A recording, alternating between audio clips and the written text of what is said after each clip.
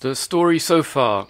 I am attempting to port the Fuzix operating system to the ESP8266. I have got the kernel up and running up to the point where it fails because it can't mount the file system. I spent the last session trying to get the ESP8266 board talking to a SD card because I want to use the SD card for storage and failed miserably. Something is going on which I don't really understand. I am trying to get assistance on that. But in the meantime, I cannot proceed until I have a root file system of some description. So let's see if we can make the internal flash on the board act as our file system. Now, this is actually rather more interesting, by which I mean complicated, than it seems. The internal flash of the board is actually a raw flash device, and raw flash devices are awkward to deal with. Uh, normally, this is all hidden from you by a microcontroller that lives inside a USB stick or SD card or similar, but we don't have one. So I'm going to have to do it manually. So let me first explain how Flash works. So let's make a notes document. Um, normally you have uh, a set of physical blocks that live on a storage device. If you want to access data in block 2, you go look at block 2 of the device. Very simple. Flash is similar, however, it's limited.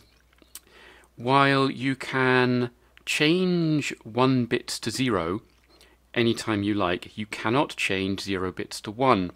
Instead, you have to erase uh, multiple blocks at the same time. Uh, so let's put block number down the side. Uh, on this device, each block is uh, 4K. So let's say this contains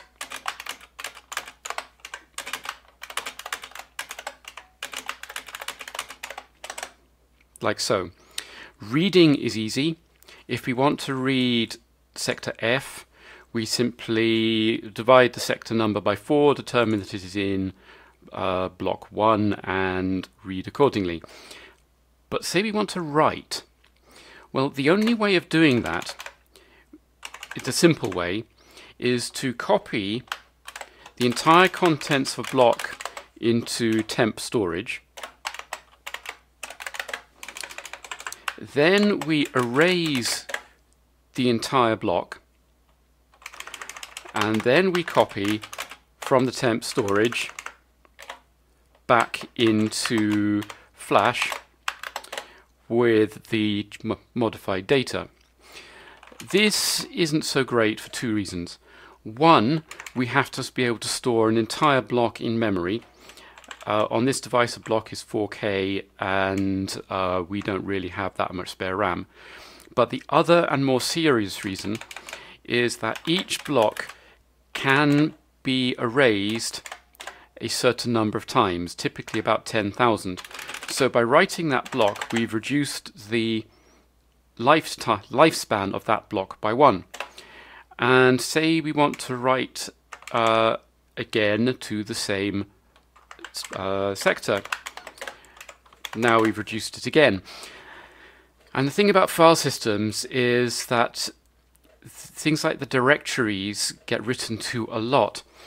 So just naively slapping a simple file system down onto the raw flash is both awkward because we need lots of temporary storage in RAM and also is guaranteed to kill the flash very quickly.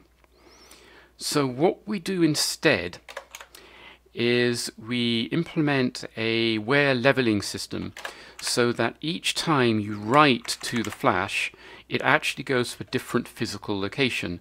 So rather than writing again and again and again to the same block, we end up writing four times to four different blocks.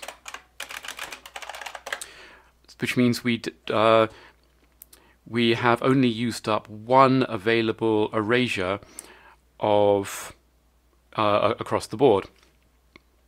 And the normal way of doing this is you uh, have a lookup table between uh, the logical sector, which in this case are letters, and the physical block where it lives, so that we can say that ABCD lives in 00, EFGH lives in 01, uh, IJKL lives in 02, MNOP lives in 03. And I'm actually going to add a fourth one, which is empty. So one potential strategy for doing this is, say we want to write, we want to replace sector F with the value X. Well, uh, we write the updated, let me do that properly, the updated data to uh, block 4, uh, we uh, update our mapping and we erase the old block so that we can write something else to it. This works fine. Uh, so the next time we want to write, say we want to update MNOP, we write it to our spare, our empty block, we erase that, and we update our mapping. The problem here is that we cannot make sense of the contents of the flash without the mapping table. Therefore, we have to store the mapping table somewhere in the flash. And of course, we can just store it in one of the blocks. We can have a directory block called, like, you know, FF, which contains the mapping. But this means that every time we change the mapping, we have to update block FF. And of course, that will use up the, uh, the lifespan of that block rapidly. So there's two ways to do this. Either the mapping table can move throughout the flash, so that uh, we never keep writing to the same block. Or we can spread it out throughout the uh, entire flash. And that is the one we're going to be using. So let me come up with a slightly more concrete example. Uh, our sectors uh, in Fuzix's terms are 512 bytes, which means that we get uh, eight sectors per flash block. So I'm trying to come up with a decent way to represent this. So D E F G H I J K L M N O P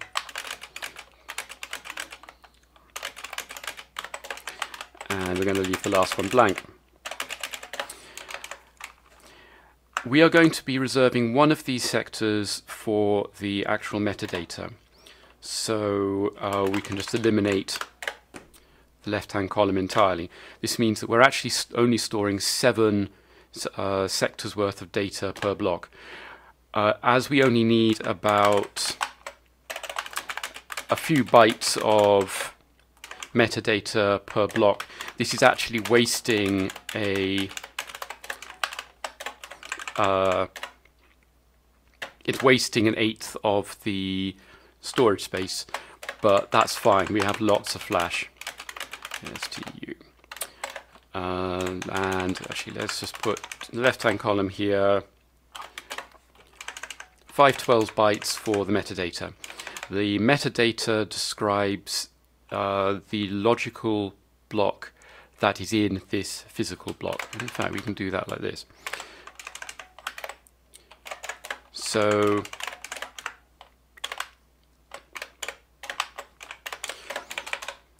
So what this is doing is saying that physical block 0 contains logical block 0, physical block 1 contains logical block 1, etc. Uh, physical block 3 is blank. So let's say we want to update a value in of logical block 0. We look up our mapping, uh, we copy the entire block with our updated data into an empty block.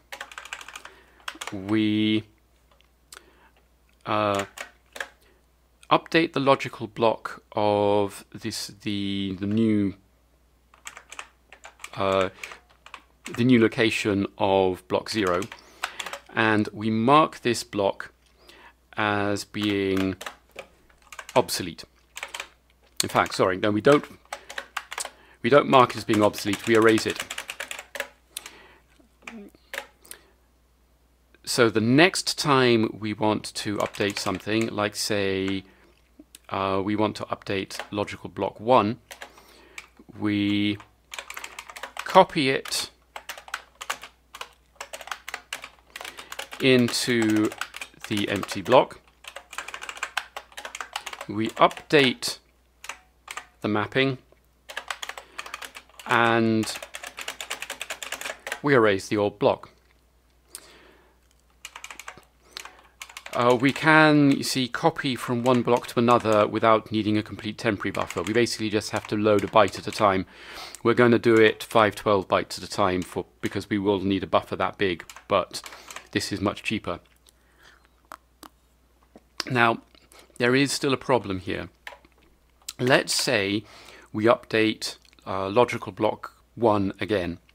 So that goes into our old block, we update the mapping, we erase the old one, and now we update it again. We copy it into the spare,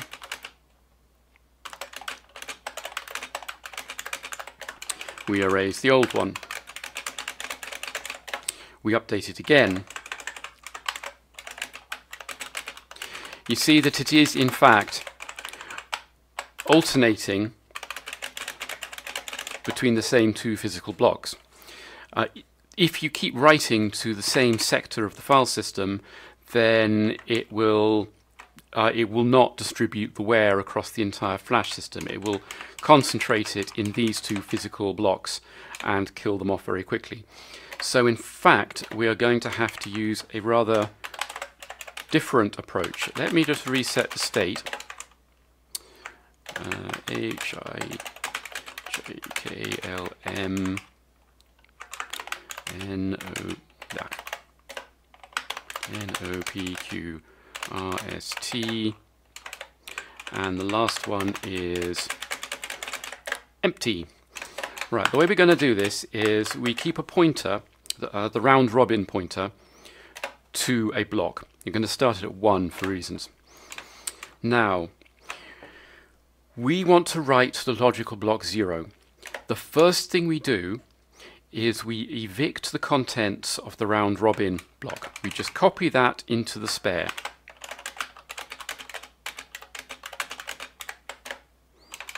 We erase the old one.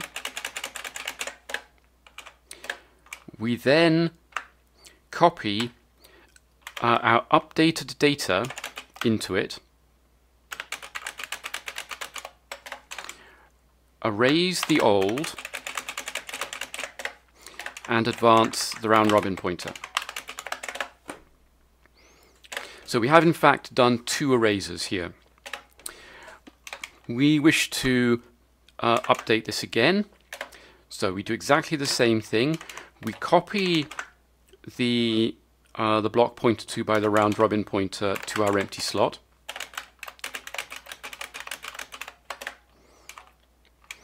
We erase the old one. We then copy our new data, erase the old location, and advance the round robin pointer. So you can see how this is going. Uh, it ensures that every time we write a block, uh, it will go into uh, the next block along, we will end up cycling through the entire Flash file system. The uh, the empty uh, the empty spare will move randomly around depending where the last block that we updated was, but the data will always be written to the contents of the, uh, the round robin block. This, unfortunately, it does involve two erasers per write, but it will allow us to cycle through the entire flash. Uh, this will distribute the load across the entire device. So let's do a few calculations to actually figure out how long this is going to last. Now, say that we are doing one write per second. This means that we're doing two erasers per second. We know that because of the way things work, uh, the erasers will be distributed evenly. Now I have a 8 megabyte flash device. Uh, it turns out that uh, let me just rerun the burn. Uh, no, sorry, I have a 4 megabyte flash device. I'm sure it said 8 the last time I looked. I wonder if that might be unreliable. Okay, I have a 4 megabyte flash device of which we are using 1 megabyte for our code. So that is actually going to be 3 megabytes worth of physical blocks. Uh, each physical block is 4K, so that gives us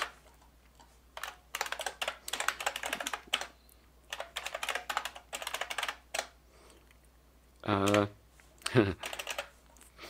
That gives us 768 physical blocks. Each physical block can actually store seven sectors worth of data because of the overhead in the logical block number, which is, that means that we can actually store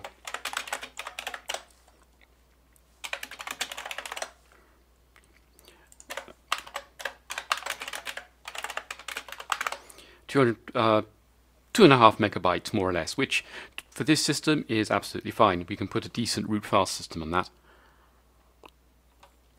Now, 768 physical blocks at two erasers per second means that it's going to take 384 seconds to erase every block. Uh, this flash device it can cope with about 10,000 erasers. So the total lifespan of the system is going to be 3 by uh, 384 by 10,000 which is that's in seconds which is 64,000 minutes 2,700-ish hours uh, days hang on uh, that number of seconds, that many minutes, I need to divide by 60 again, that many hours, that many days,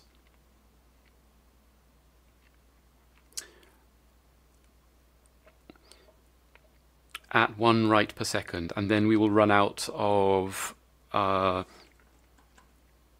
flash lifespan and it will fail. Unfortunately, this means we need a new device because the flash is not replaceable.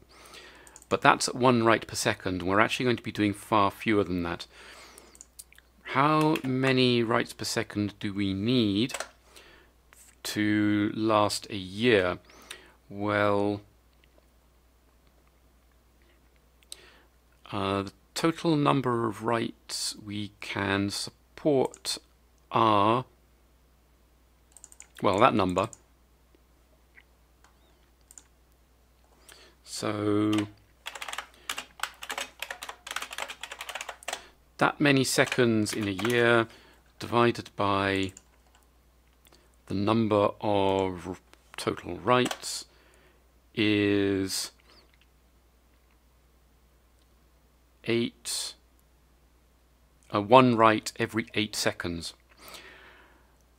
Now, we are probably not going to achieve anything like that. Hmm. Okay, if I sound surprised, it's because I did do this calculation ahead of time and got a different number. I think I may have forgotten to divide by 60 again that time. Uh, let me double check things. 768 physical blocks. Uh, two writes per every update is 384. Uh, 10,000 writes per block means Yep, that seems like that seems like the total number of writes we can make. We're very unlikely to write 8 times a second, but it, it is going to be extremely bursty. If you copy to a file, then it will write multiple sectors one after another. It is possible to optimize things by detecting that certain sectors do not contain data so that, for example, if this was like so, but we know that D, E, F, and G are empty, then if you write to this sector, we can just write it. We don't need to fiddle about with the mapping. Uh, however, in order to do that, we need information about which sectors of the file system are actually in use. And I do not believe Fuzix has that. This is called trim support and uh, I do not see anything. We could always add it, I suppose.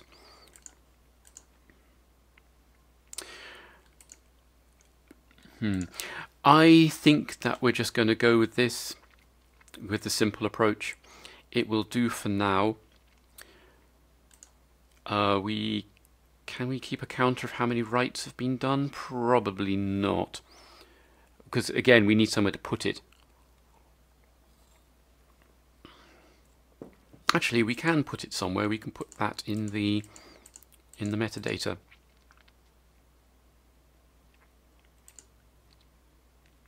Yeah. Okay. This will work for now. We can keep track of the number of writes per logical block. That will give us an idea of the overall load on the system. Uh, that means that we can detect if we're writing too often and stop before uh, the device actually gets destroyed. Uh, the root file system is actually going to be small enough that if you're going to do real work, you'll want to use an external SD card anyway. So, uh, yeah, that that all sounds fine. So that sounds like a plan for our translation layer. Um, then we can just put an ordinary Fuzix file system into the logical uh, sectors and it won't care that it's living on a flash device. Uh, the translation layer will seamlessly handle things. There are two things we need to do. Firstly, when the system boots up, we have to go and read every block on the file system and determine uh, which logical block they corresponds to and we will end up with a mapping in memory of a logical block to physical block and it is going to be that way round. Uh, the mapping will need two bytes per uh, block on the file system. Uh, we have 768 physical blocks, which is which will therefore correspond to one and a half kilobytes. That should be fine. We've got enough space for that, and we can make more space if we need it. Now, the other thing we need to do is special for the ESP8266 and I will deal with that later. So uh, I have uh, disabled the SD card stuff that I did last time, but I haven't, actually committed it. So uh, let me just make sure that there aren't any stray files. There do not seem to be. Uh,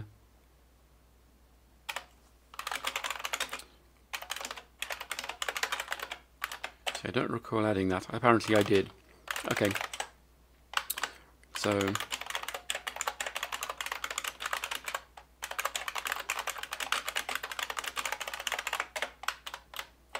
Okay, so let's create a file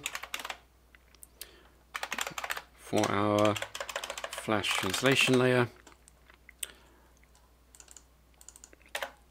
And let's add that to the build.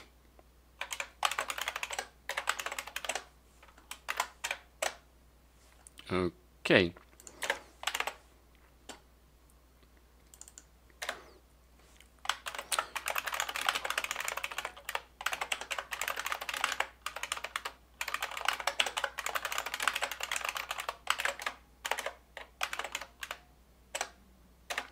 Actually, we don't want that but we do want a header file describing what's in it. So our FTL system is going to have as major entry points uh,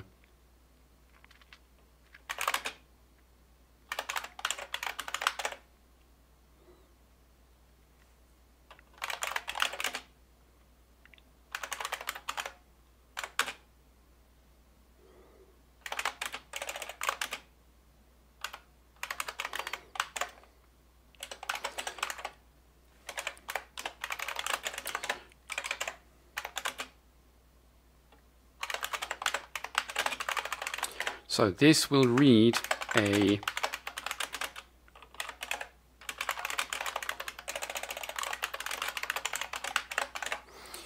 this will read this sector 0 to 6 out of this logical block into uh, the buffer.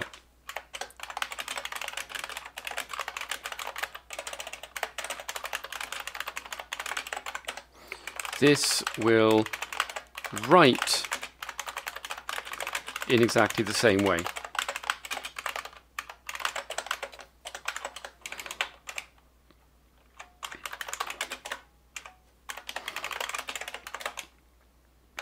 We are going to have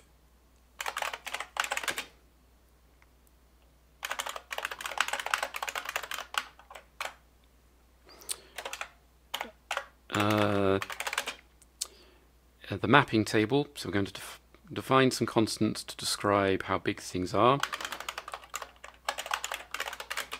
So this is the the number of blocks in the file system. We have a 4 megabyte uh, device, 1 megabyte is code, so that will be uh,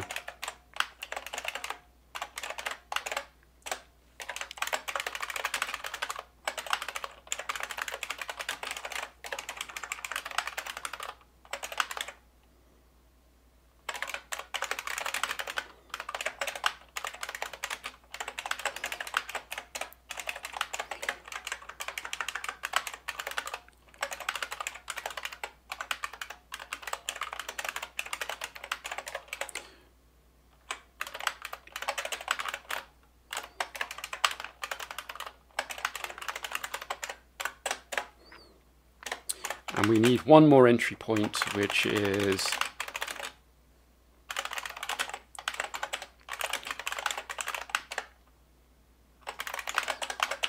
the initialization routine. So what the initialization routine does is it will walk through the physical blocks looking at the metadata header of each one and it will populate this. So, the first thing this will want to do is to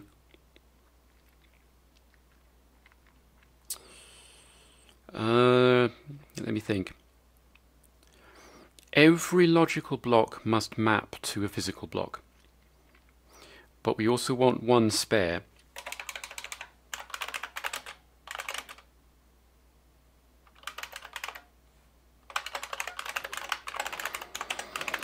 And we want our round robin pointer.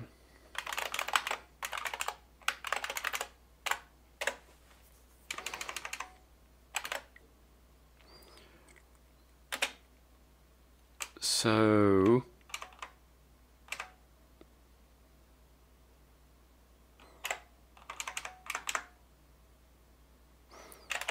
that's actually going to be one smaller because we need these the extra spare.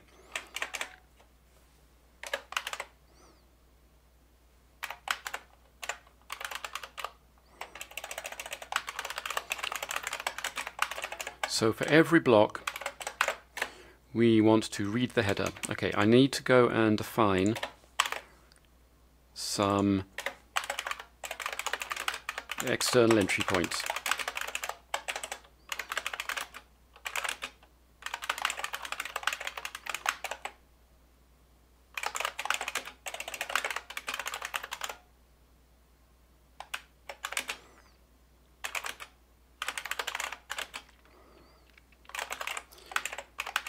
These routines will actually access the underlying raw flash device.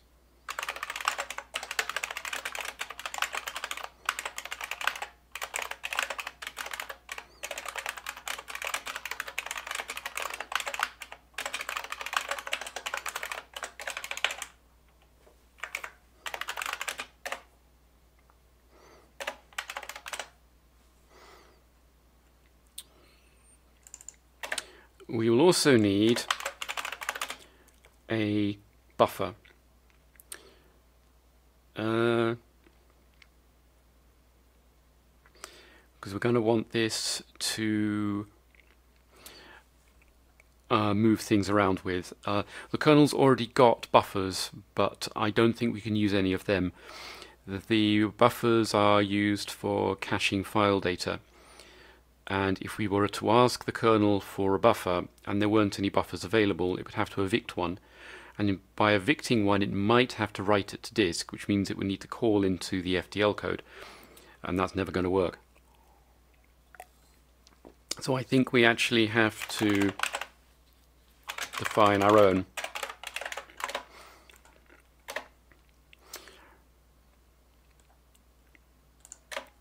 So what we're going to do is read the first sector of every block.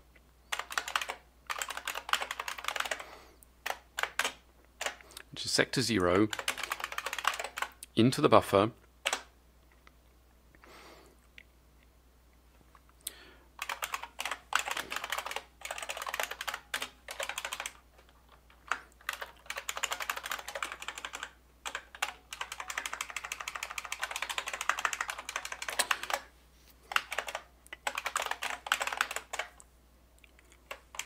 we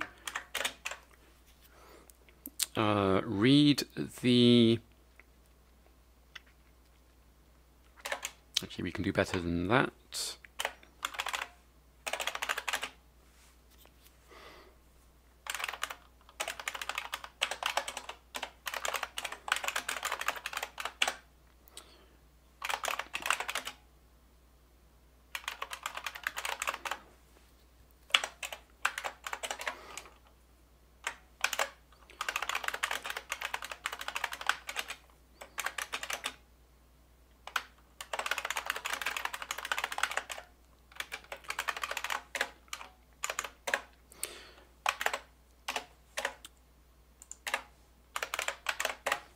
Uh, these values need to be aligned.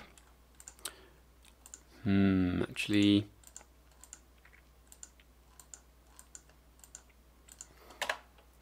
The problem is that uh, because this is a uint 8, an array of uint 8, it may not be correctly aligned. We're going to have to be more, be more, uh, going to have to do things a bit more com complicatedly.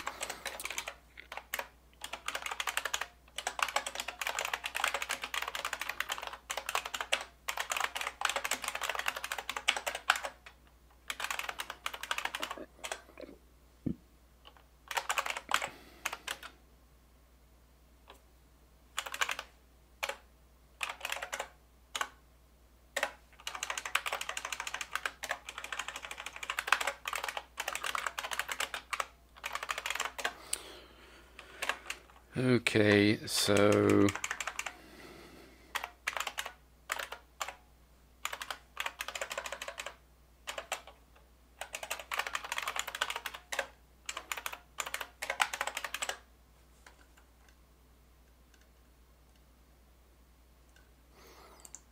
Okay, so that will read in the first sector Uh, sector 0 is, of course, not the um,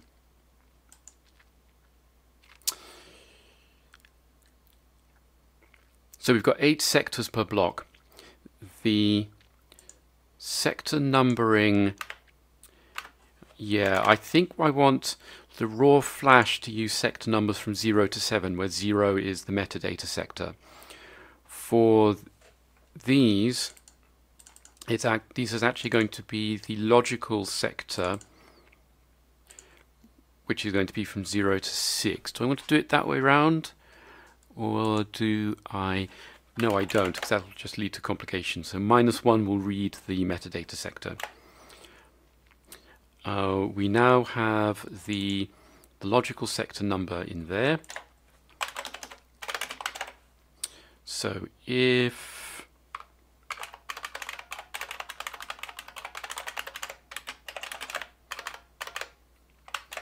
if it is empty,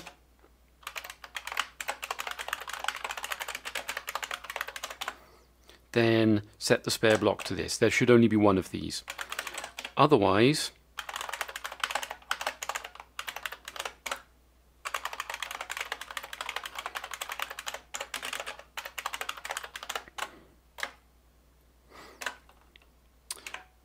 then the we set up the mapping and just for the purposes of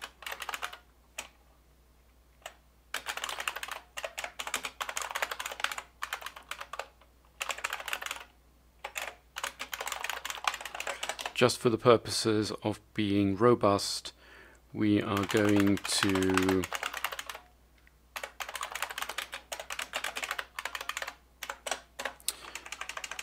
ensure that we have a complete spanning set.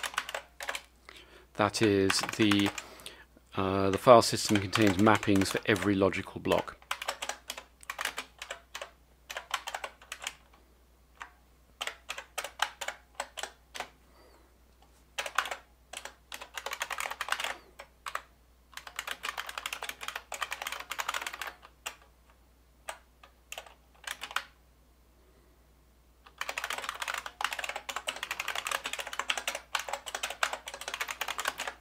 Okay, that should be all the code we need to initialize the FTL stuff.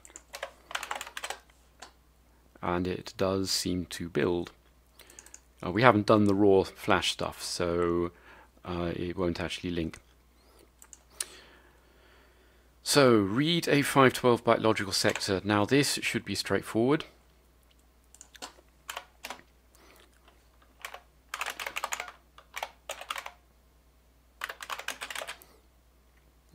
We simply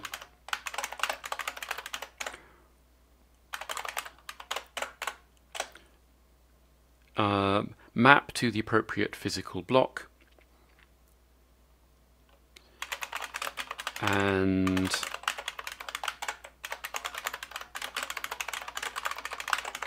read. Uh, see, this is why I wanted the sector numbers to be compatible.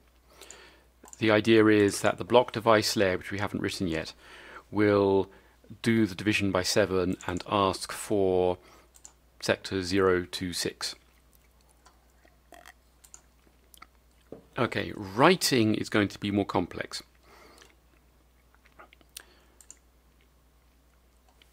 So the first thing we're going to have to do is to evict the block being pointed to by the round robin pointer. Now there are three potential cases here.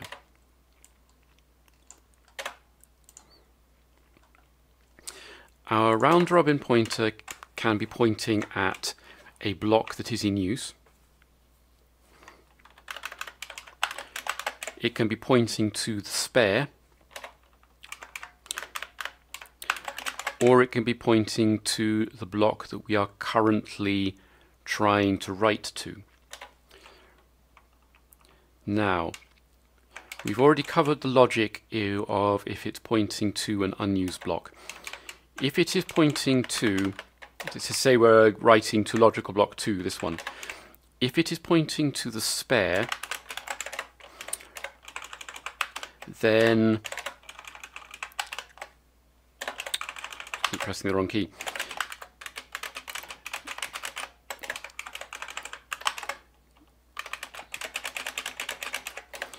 Then we don't bother with the eviction because we don't need it. If it is pointing to the current block,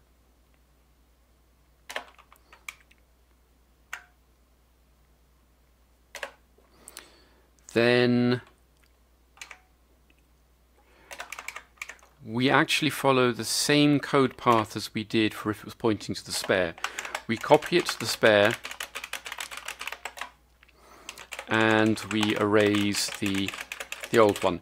So we only need to do the eviction if uh, it is not pointing at either the spare or the block that we are trying to uh, write to. So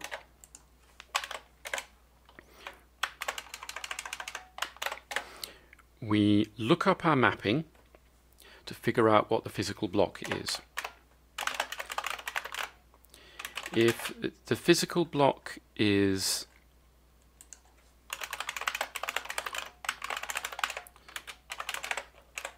spare or the round robin block. Then we wish to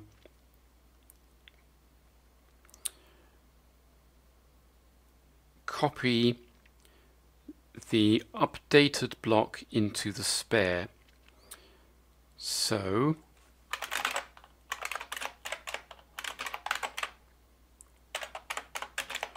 for every sector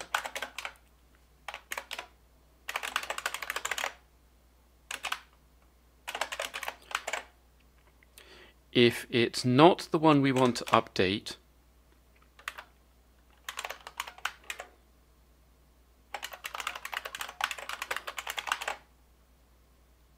we want to copy from the current physical block to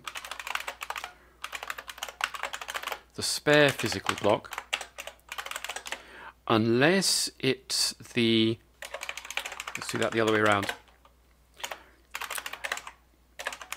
Unless it's the one that actually contains the data that we want to write to, at which point we do a raw flash write to spare physical block uh, sector sector and that data. So that will copy our updated data. We then wish to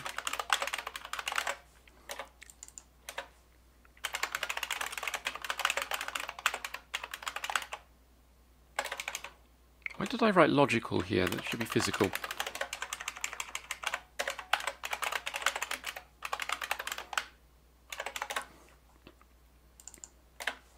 We then want to erase the old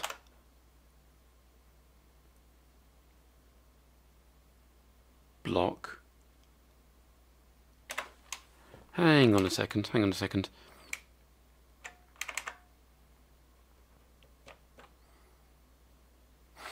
The physical block here cannot be the spare because the spare stores no data. So this is the only case that matters.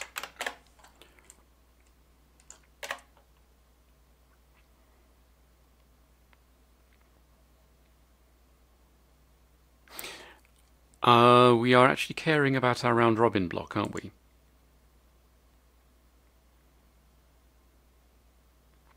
Our three cases are if the round robin block is pointing at the uh, the block that we are updating or if the round robin block is pointing at the spare there is only one spare or if the round robin block is pointing at something else entirely. Okay.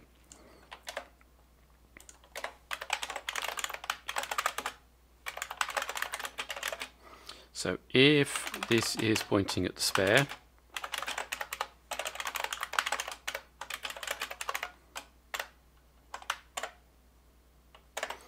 or it's pointing at the sector that we are act, uh, the block that we are actually updating, then copy from the current block to the spare, erase the current block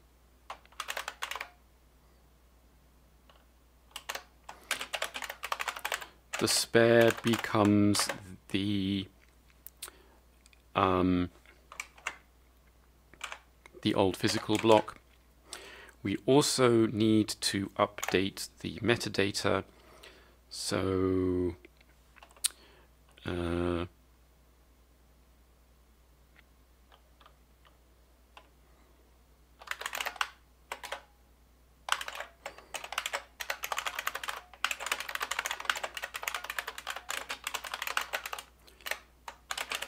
which we do with that, and that should be done.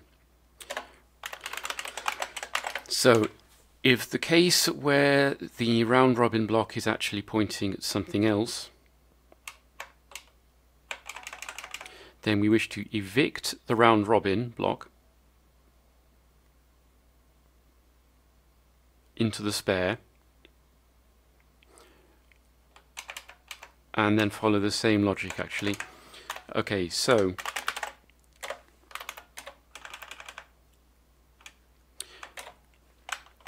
if the let's invert this conditional. If the round robin block is not the spare physical block and the round robin block is not the the actual physical block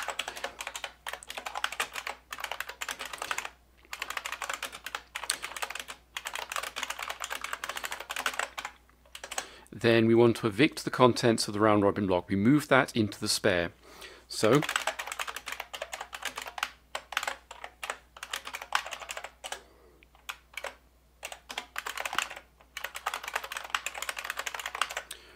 So from the round robin block into the spare that sector. And we want to copy the metadata as well so we do that. Uh, we then erase the round robin block and the spare becomes the round robin block. Okay. And then we follow this logic. We can do this to copy our actual data from the physical block, which we know cannot be the round robin block. Well, we don't care actually. Uh, from the, we copy data from the current block to the to the spare. We erase the old physical block the spare becomes the old physical block.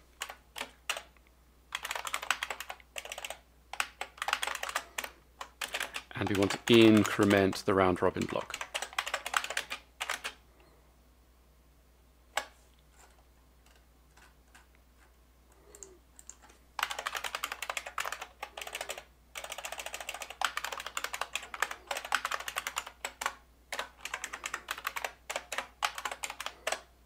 Okay. So we have an undefined reference to mod SI3. That's in the ROM. Uh, which I forgot to pull up. It's here in GitHub.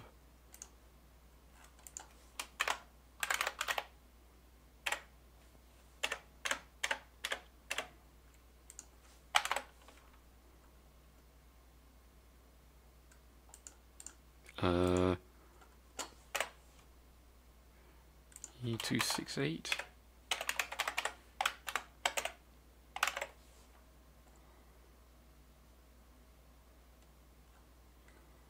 Ah, that's why I couldn't find it. Mod SI3. This is signed modulars. It's not there.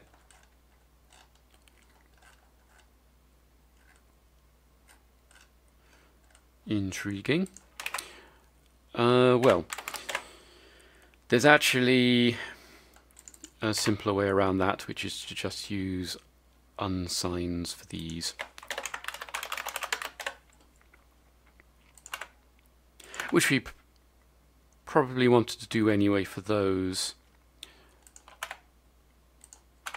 Uh, but we don't want to do for these because we need the negative number. And we don't want to do these because we need that but it should work for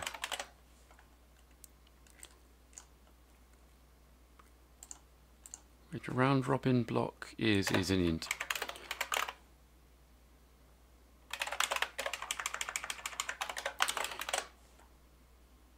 Okay.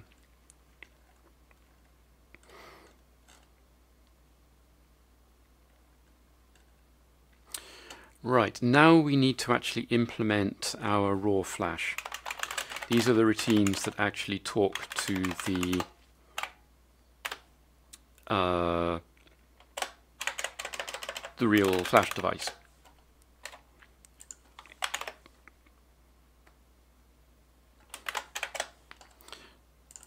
So add that to the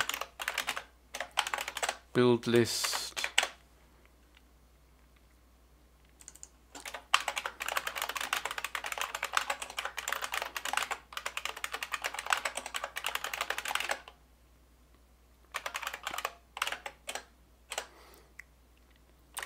So we've got raw flash erase, 32 physical.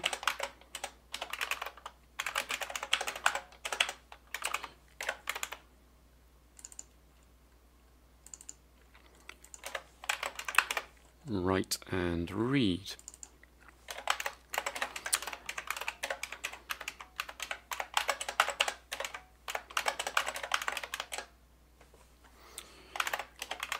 Now, this is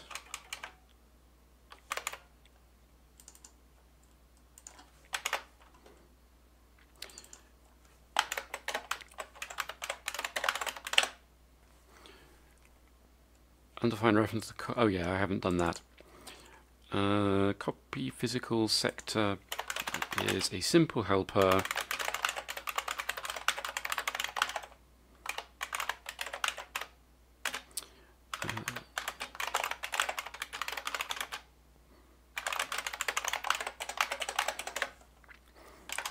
all this does is read from source uh,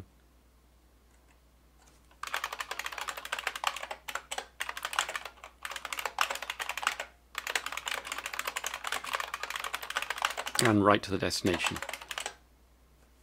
Very simple. Um,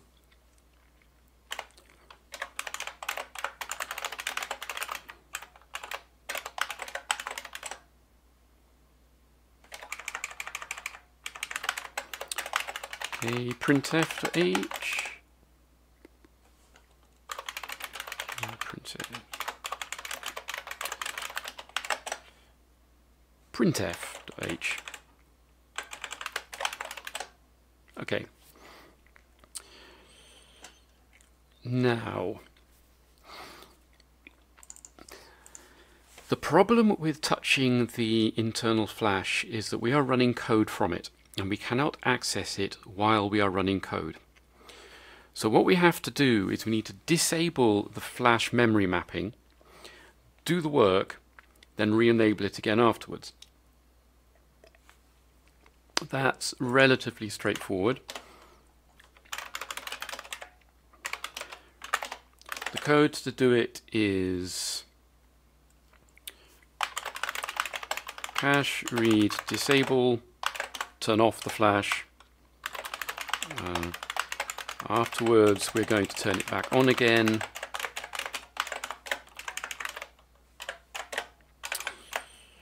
and then here we need to call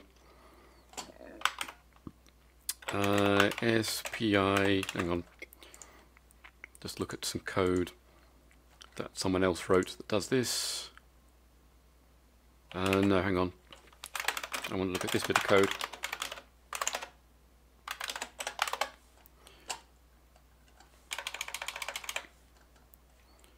So SPI unlock, SPI erase. We don't want to erase a block. So I've been talking about blocks and sectors, uh, where a block is 4K and a sector is 512K, because that's what it looks like from inside Fuzix. However, in actual Flash terminology, a sector is a small erasable unit, which is what I'm calling a 4K block, and the block is a large erasable unit, which is 64K.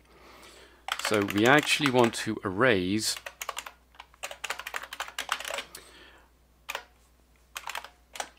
and we want to start at 1 megabyte, so that's 1024 by 1024 divided by 4096, 256 4K sectors per megabyte.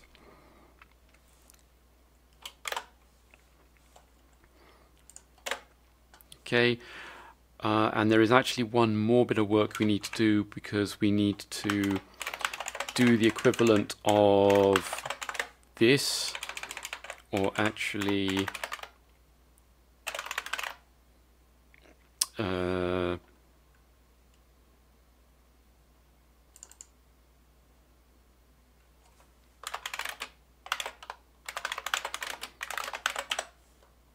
IRQ flags.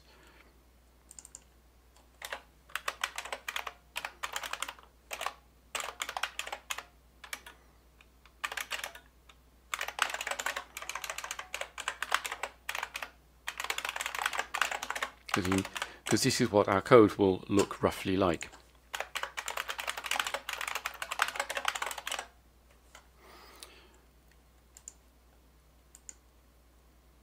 And we actually need to add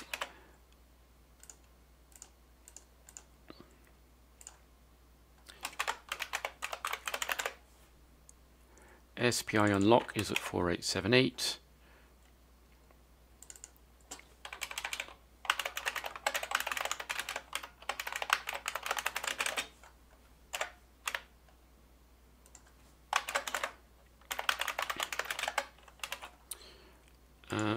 SPI erase sector is at 4A00.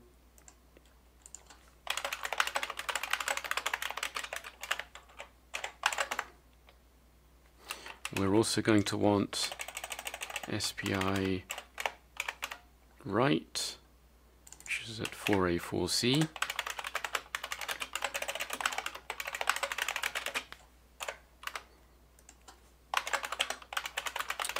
and SPI read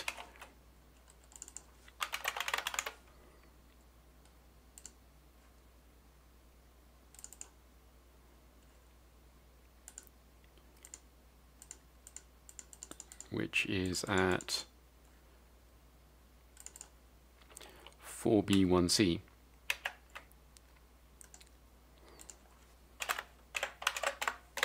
Okay. So that is actually linked into a kernel. Unfortunately, this is where things start getting complicated. We can't put this routine in the flash because as soon as we call cache read disable, this routine will become inaccessible. We have to put it into uh, our precious instruction RAM. So let us see how big this is.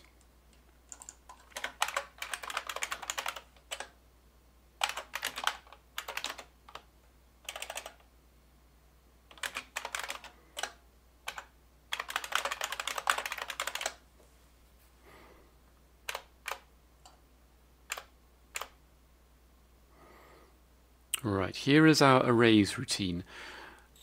Not particularly large. Uh, C64 C18 76 bytes. Yeah, that's okay, I suppose. Uh, we can't use DI because DI is in the main kernel, so we will actually want to inline assembly that. Uh, or will we?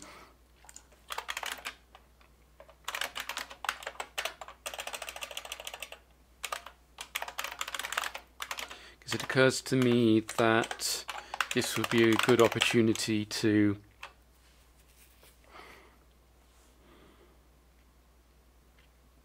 It would have been a good opportunity to turn DI, IRQ restore, and EI into macros, which can be inlined.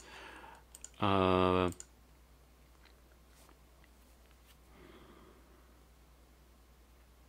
yeah, we can do that, but we have we have to modify the kernel a bit.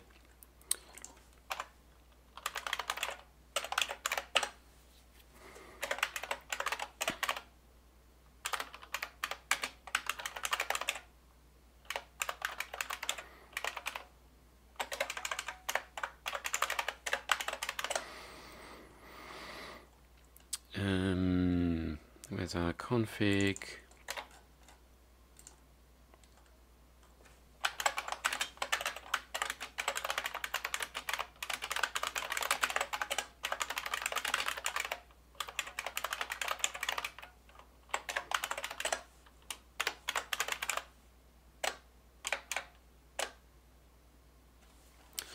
Okay, so we should be seeing Yep, these are not defined anywhere. So we are going to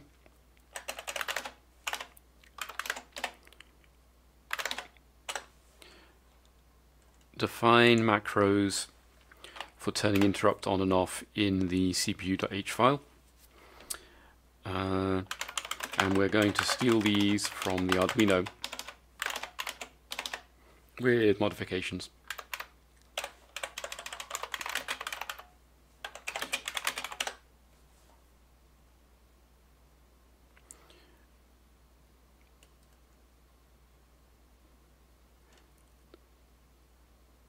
Okay, so this is the core of it.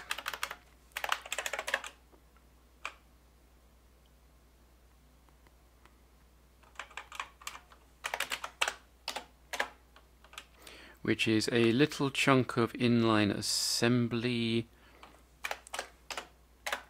uh, users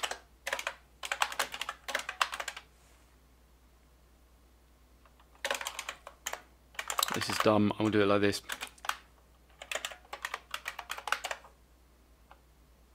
Ah, no, I can't do it like that. It has to be a macro. So what this does is when you call the macro, it will inline an RSIL instruction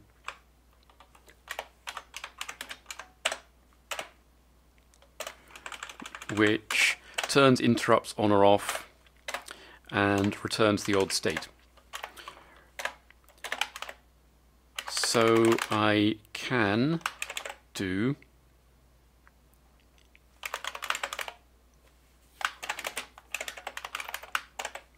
a DI, uh, that's in that's in low level. A DI sets the interrupt status to 15 and returns the value.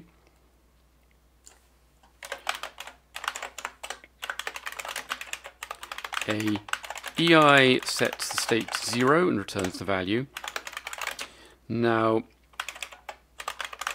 IRQ restore is a bit more complicated because we need to write to the uh, PS register uh, there will be a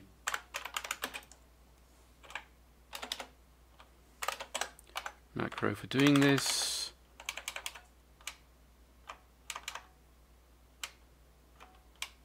WSR, WSRPS is the one we want.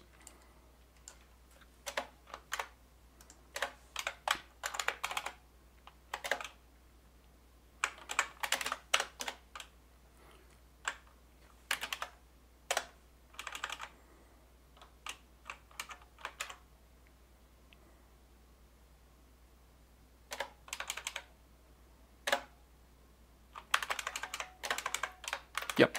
So this should inline everything we need, assuming it's done right. So Let me just do a clean and a build.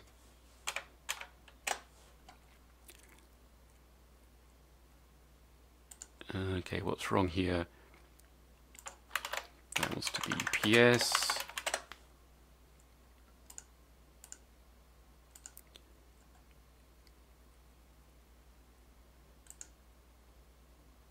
Uh, oh, we never defined stringify.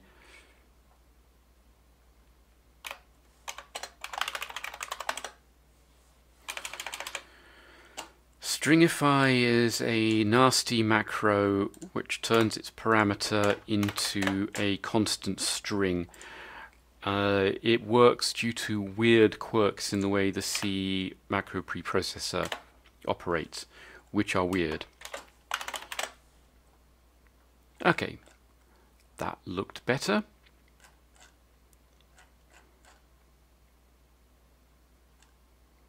Don't see any warnings much. So let's take a look at our disassembly. So the advantage here is that this is going to actually make the code throughout smaller and more importantly, calling DI is no longer calling out to anything. So you can see here, this has turned into a single instruction.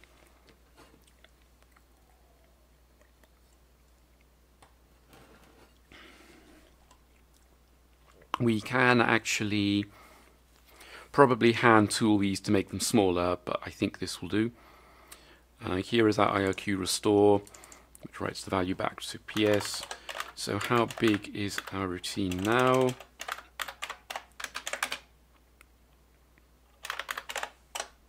Sixty-five bytes. Okay, that'll do, I suppose. I'll do want to go here to the low level routine and just chop these out because you don't need them anymore.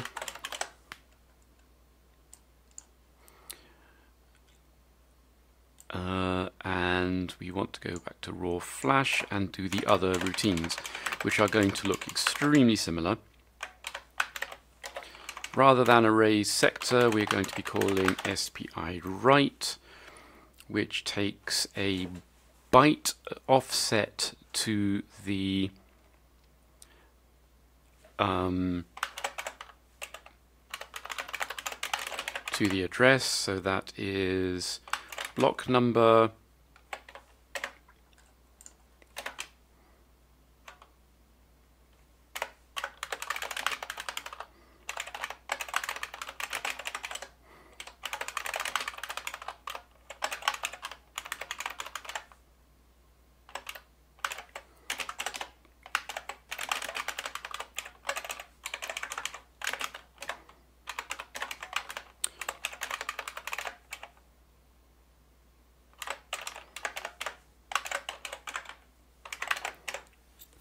that gives us the address of the block plus the sector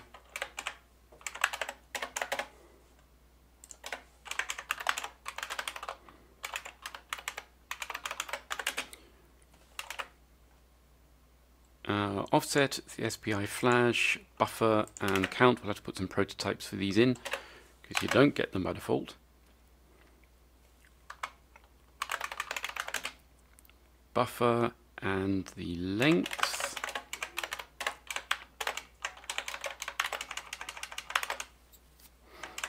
And it's exactly the same thing down here.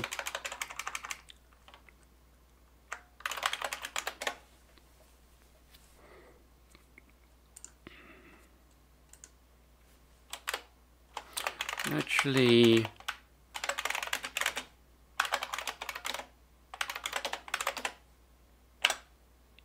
okay, we don't get that there. Do we get it in the Arduino source? No.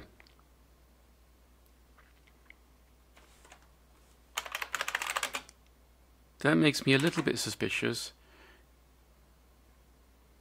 Can I actually use these uh, in ordinary code? I believe so. Don't see any reason why not. It's not doing anything particularly complicated. 42AC here is actually doing the work.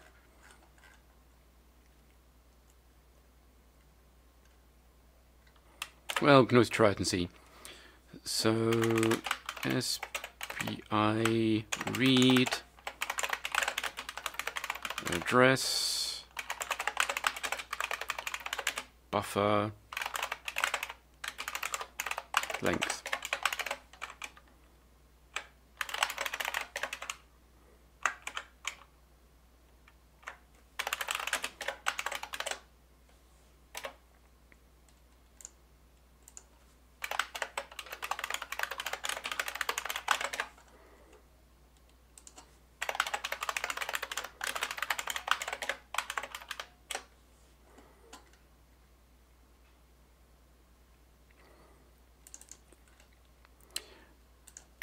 Uh, we've I should really I should really create a header for all these, which I shall actually do now.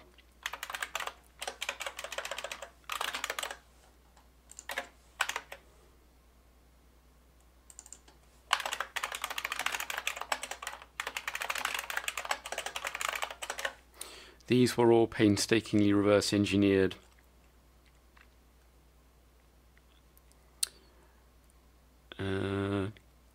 so they don't really have standard APIs. Where was I? I was in boot.c.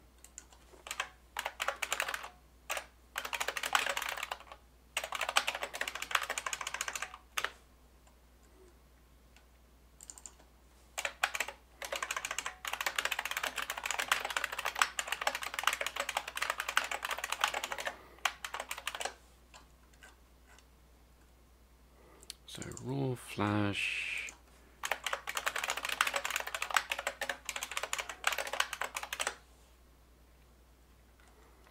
Uh, we need SPI unlock and erase sector. Oh, uh, and put these in here as well.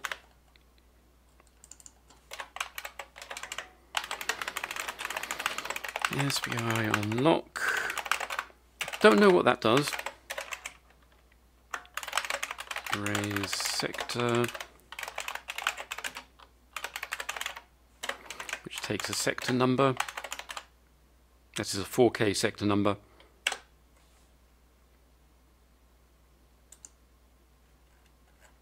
Okay. I'll actually go look up SPI unlock in the disassembly, see if there are any useful comments. No.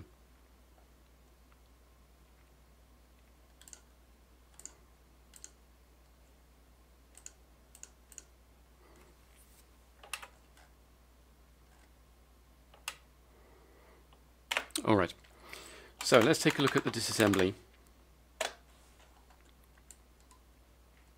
Oops. Okay. So raw flash erase, raw flash write,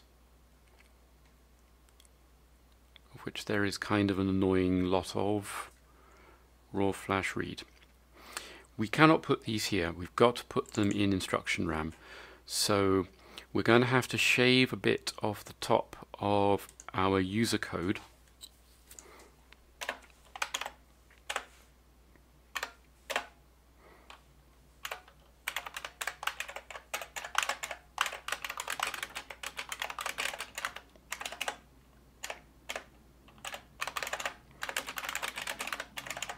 to put it in.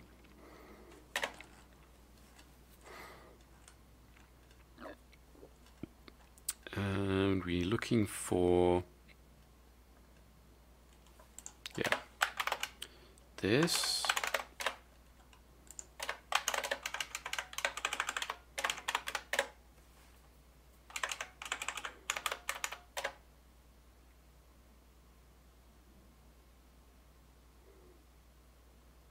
No, we don't. So we already have a special block here for the uh, the code that gets loaded by the bootloader, the stuff that goes here in boot.c, which initializes the SPI flash. So we're just going to duplicate this, but put it into the other end of things.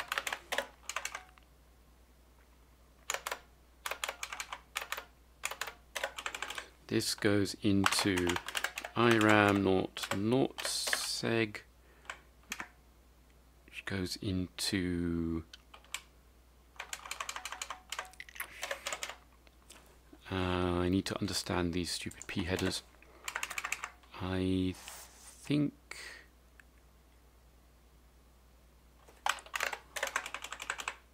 I think we have 0 and 1 so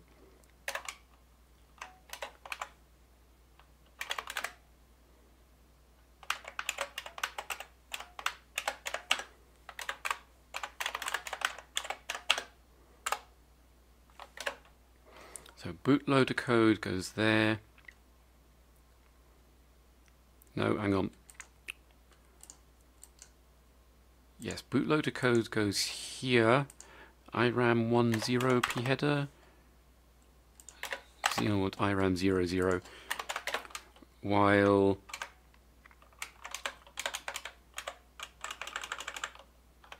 this goes into IRAM 1.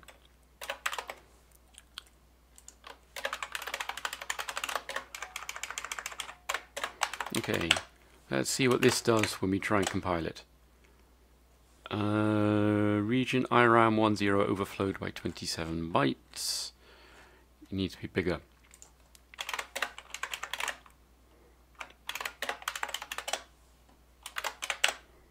Okay, right, now let's look at our disassembly. I need a new mouse. The left mouse button doesn't stay down all the time.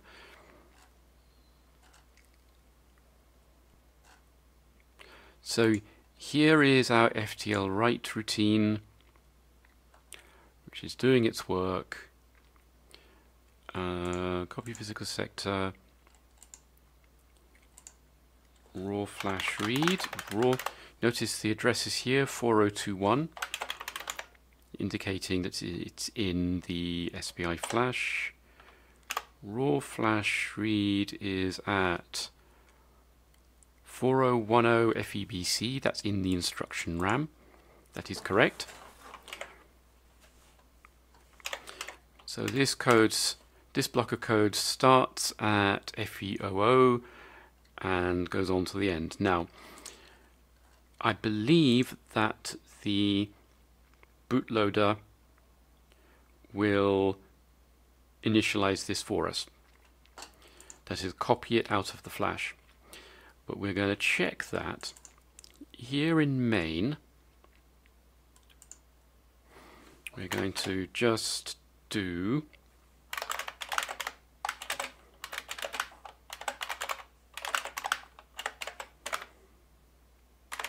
four oh one oh oh FEOO, I believe is the address. 4010 FEOO. Okay. Uh, ESP tool, which, which takes the ELF file and generates the stuff that we need to burn, appears to be happy. Let me just, just see how many output files it's made. Still two, which is good. Um, and we're going to say we're going to do that.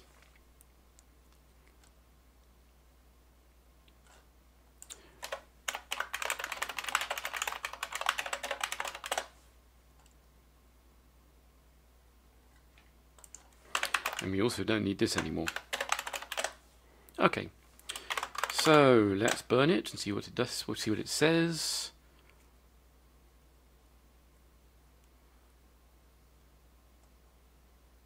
looked okay. I do wonder what is in that this file. So this this is the this is what gets actually burnt into the flash at zero. So it's got a header at the top. Uh, then it's got the code which lives here-ish. I'm a bit surprised by these strings. Why are they there?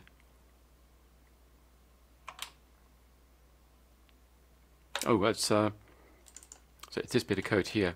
I'm still surprised by the strings, which shouldn't be there. Okay, well, anyway, let's see what it does. And hit the reset button.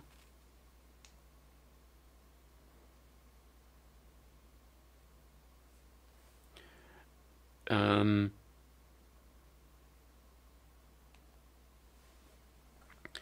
percent p equals 0000. That seems wrong.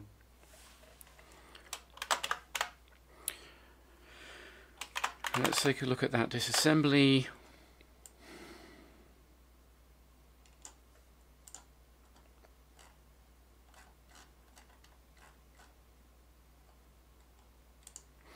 Yeah,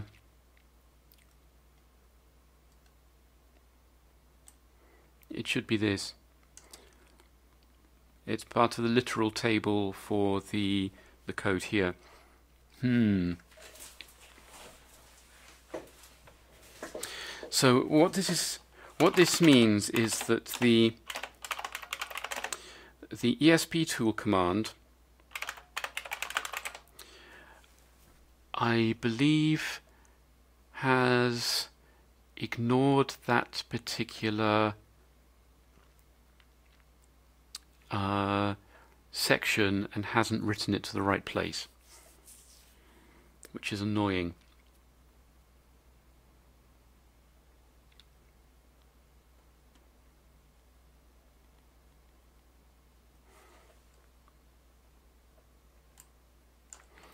wonder if I can get this to produce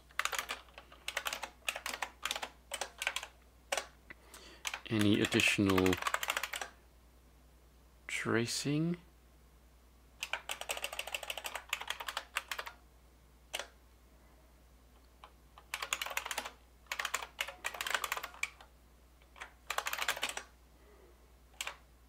Hmm.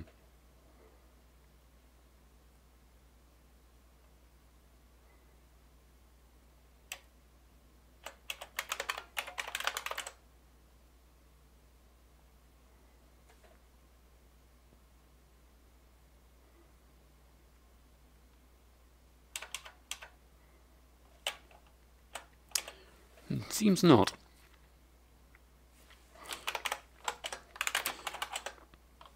But I am still curious about the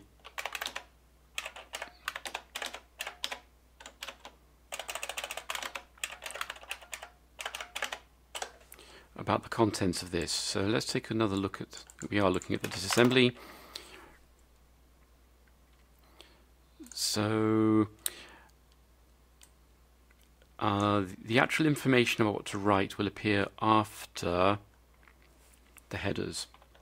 So if we search for 4081FF3F, we find that here indicating that this in the file is where the this piece of code starts. So that goes down to this FOOD. There's not a lot of this to be honest. O ODFO. Yeah, here we go. Uh, 12C110, which is this instruction, FOOD. Although this is actually a very common suffix in uh, LX106 code, so it'll appear all over the place. Okay, so let's look for this. FO470040. Oh, it's here. 78480040, yeah, oh, yep, that actually looks like this bit of code.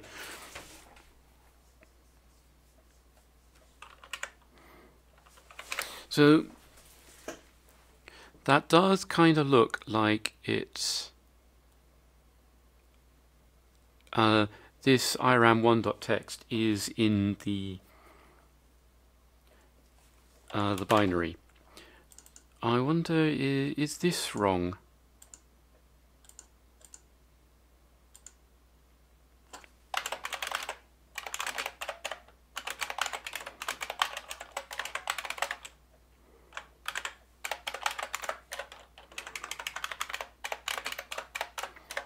Let's try that.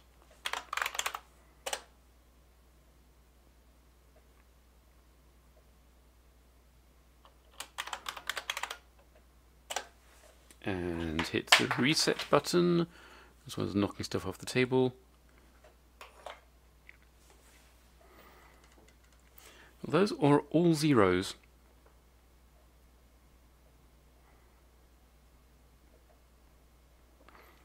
Has it not actually loaded it into the right place?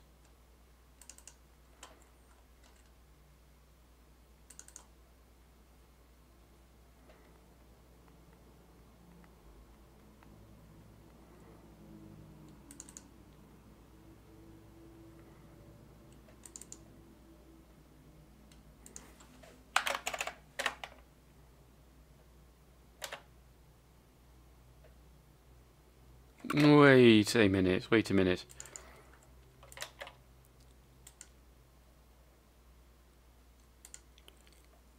Uh, let's actually try looking, you know, put it in the right place in memory. Give that another go.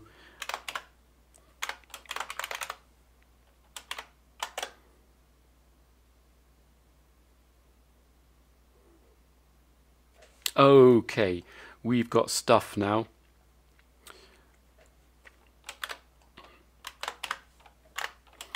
Going to update the disassembly. Hit reset.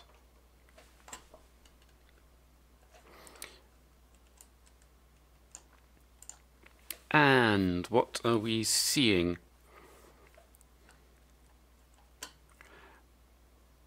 Uh, 8140.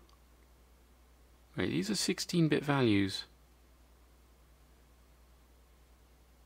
Hmm, that doesn't look right. Uh,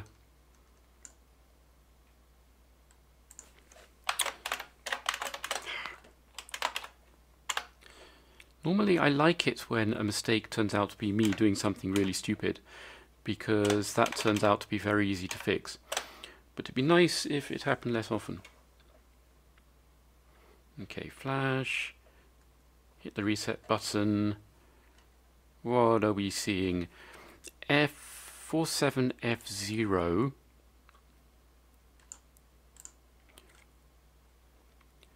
Four seven F zero, four eight seven eight, four eight seven eight. Okay, this is in the right place. For some reason, the Fuzix KPrintf is only printing 32-bit hex numbers. This is very much intended for 16-bit systems. But this does seem to imply that the code is now in the right place, which is good. We can call it now. So we are going to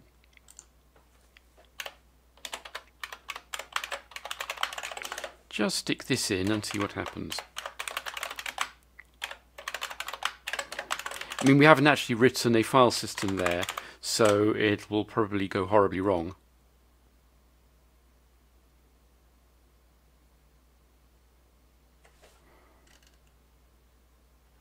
It did something. Oh, and it failed. Uh, let's try that again.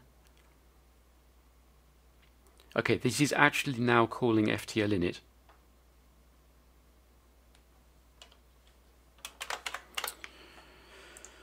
Uh, it's just taking a while. So where is our FTL code? I'm just going to as the contents of the buffer is going to be garbage I'm not going to actually populate the map because if this turns out to be out of bounds it will scribble all over memory and I'm just going to do this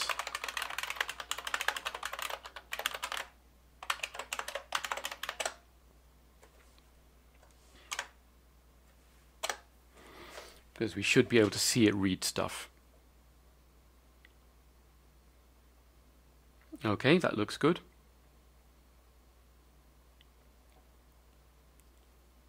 It ain't the quickest. Yeah, okay. So that's read everything. Uh, has hit the end, spotted that it hasn't actually read anything, and has given up. Good. We do actually appear to have uh, we have successfully read stuff from the flash, and the fact that we've got different numbers here indicates it might be working. Our FTL logic looks more or less plausible. Uh, the fact that there's this stuff at the end suggests that there's data at the end of the flash that we might not want to overwrite. So I think we should be good. Alright, so let's have another look at the ESP tool. What have we got here? We've got erase. Ah, right. We can... I should be able to just say this. Okay, we can't erase everything but I can do erase region from 5 megabytes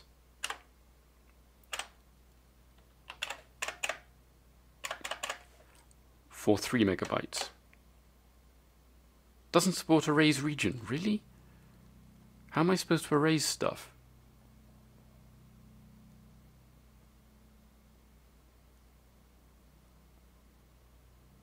Apparently, assume that I just have to write stuff. Oh well.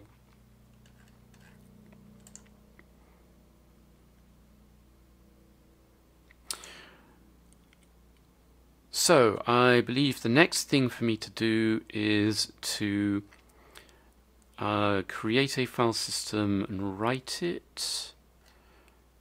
I think for the purposes of testing, let's make a one megabyte flash file system. And of course we can only use 7 eighths of that. So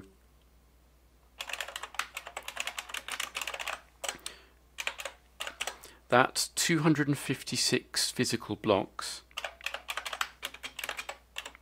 3.5k per physical block gives us 896k.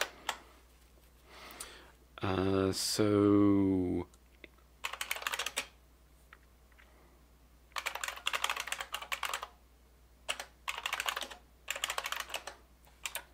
uh,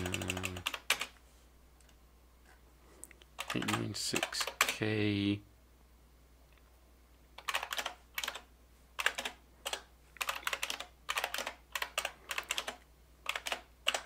Right, so this is our logical file system which is currently empty. We're going to create a, a new partition. This is going to be for the swap. Uh, we've got 16, I think 16 processors of 80k each. Uh, let me actually look at my real calculator. Um, let me see, 64k of user plus 32k of code is 96k per process, which is 1440k, 1.4 megabytes, which is bigger than our partition. So let us just actually just make one big partition for now. There we go. And write it. Uh, and make a Fuzix file system using one of the Fuzix tools.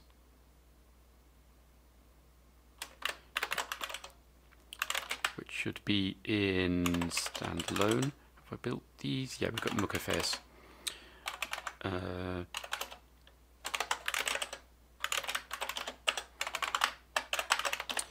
standalone MookFS uh,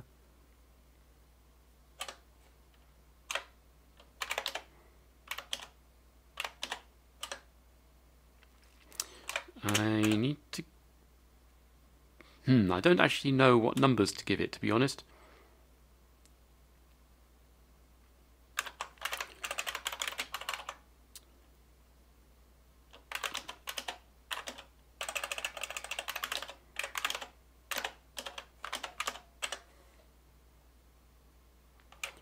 looking to see if I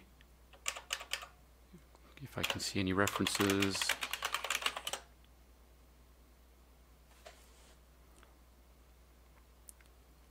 Sixteen five one two. That looks like a number. And in fact, this is going to erase the partition table I just put on. Yeah, that's fine. Okay.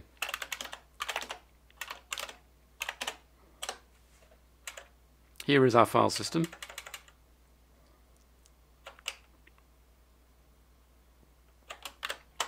So let's write that to the flash.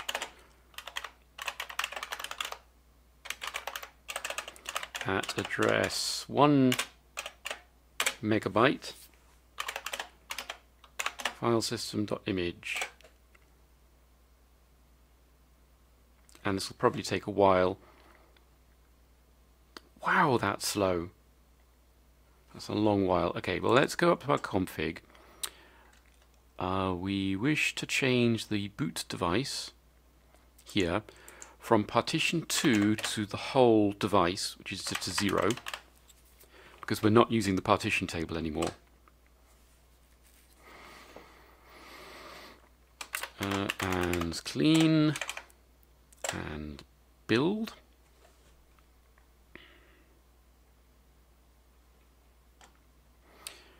And next we want to, we don't want to call FTL init from there. We actually want to uh, create a block device which will represent our uh, flash partition. So we're just going to copy the the SD card code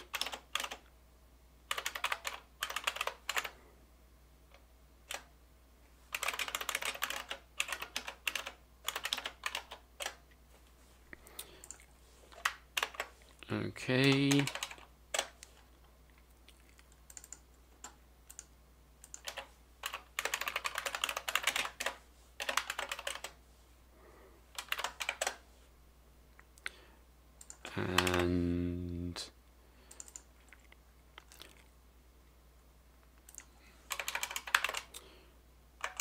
Let's take a lot of this stuff out.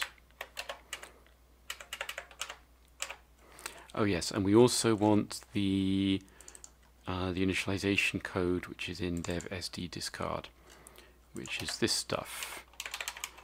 Again, most of which we're going to lose.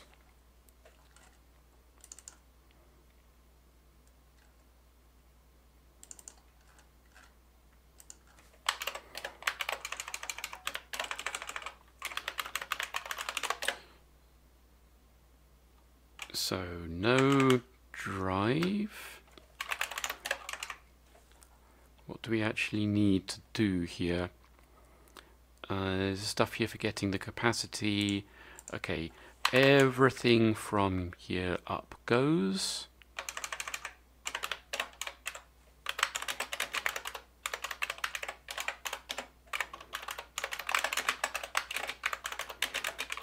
So this creates a block device give up if it's if there's nothing there. The transfer function actually does the work. The flush command is used for calling sync. Don't know what driver data is.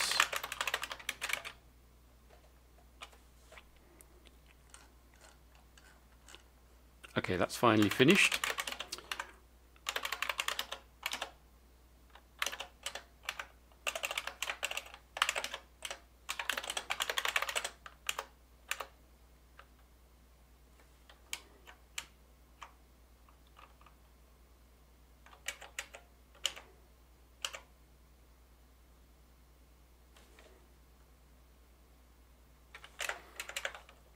Uh,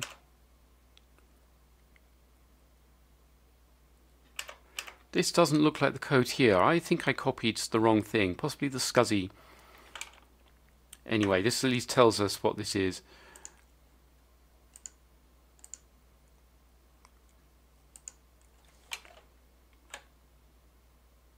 I think driver data is private for the block device. So we don't need that at all.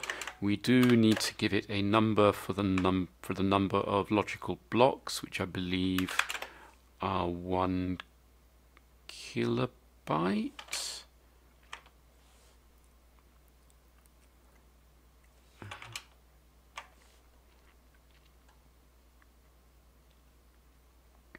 Hmm. It actually occurs to me that I'm doing things in the FTL layer. I'm doing things with 512 byte sectors, but I think I can probably use uh, LBA blocks. I don't know how big they are.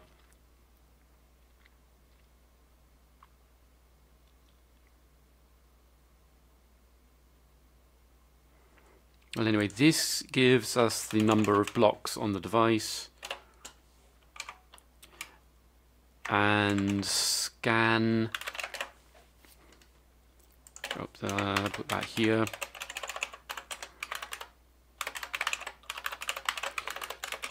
Scan looks for partitions. So that is all we need. Yeah, I copied the SCSI one. Uh, silly me. So that's all we need to add the block device. We now need to add the transfer function.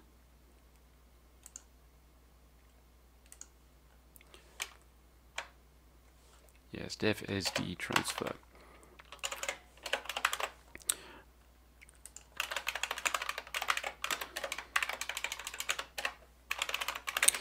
So what this does is uh, it looks at various global variables to determine what it's going to do, that is to read or write a block, and it does it. It's not exactly complicated. So for what we are doing, we want to decide whether we're reading or writing.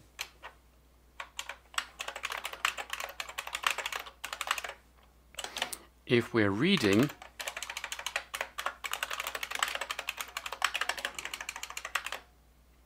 we are going to do FTL read. We need to get the uh, the logical block number. So oh, for byte address card, shift LBA to convert to byte address. Nine. Right, okay, they're 512 byte blocks. So uh, there are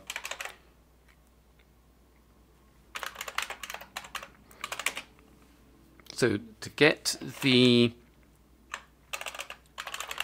to get the logical block number we want to divide by 7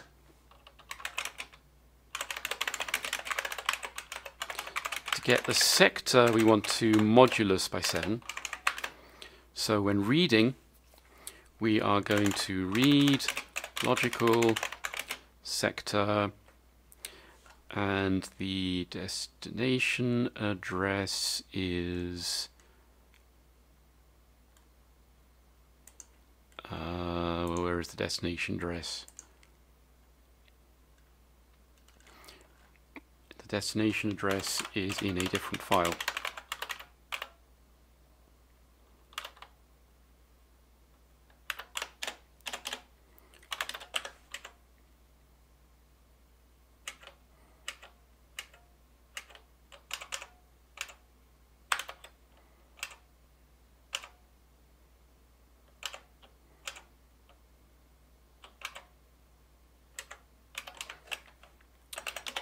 have something simpler I can look at? Let's try IDE. Okay, here's the transfer function.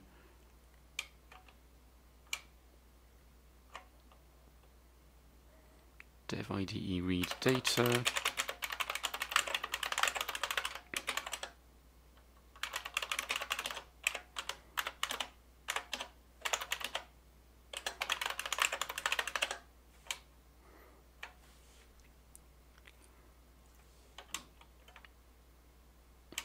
Uh, also, I've just remembered that I wrote the logical file system onto the flash, which is just wrong. Uh, we need to turn it into a...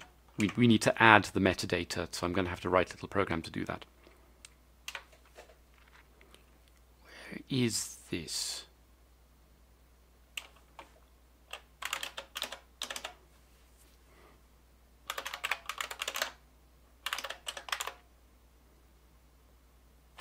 Hop address.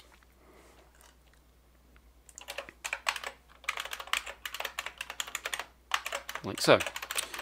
If it's not a read, it's a write. Logical sector blockhop.addr. And no error handling, so we just do that.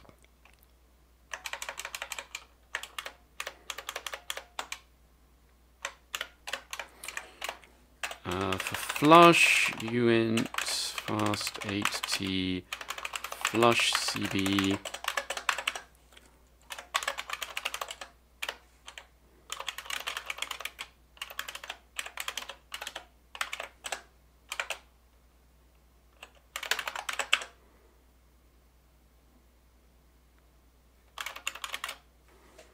as a void does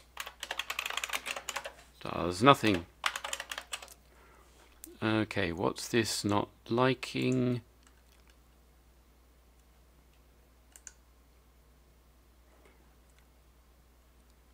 Ah, yes, I did not prototype my...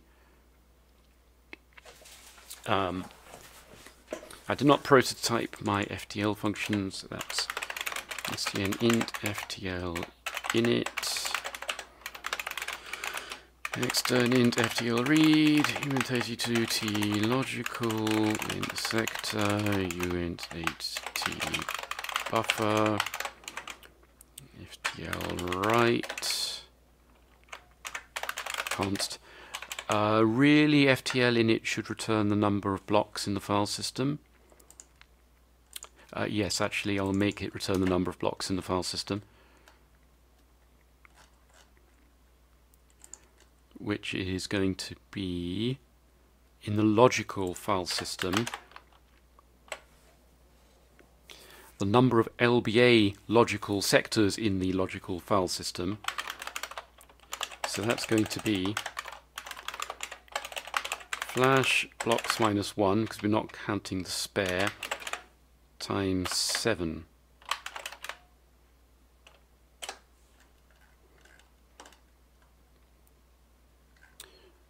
Uh, dev flash. So here in the initialization code, we want to do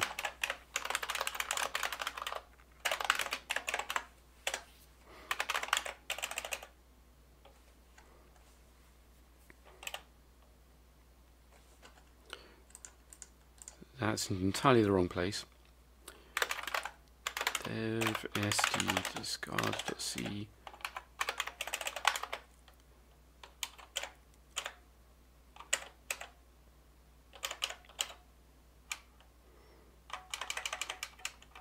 driver data we're going to ignore. Drive LBA count is the one we want.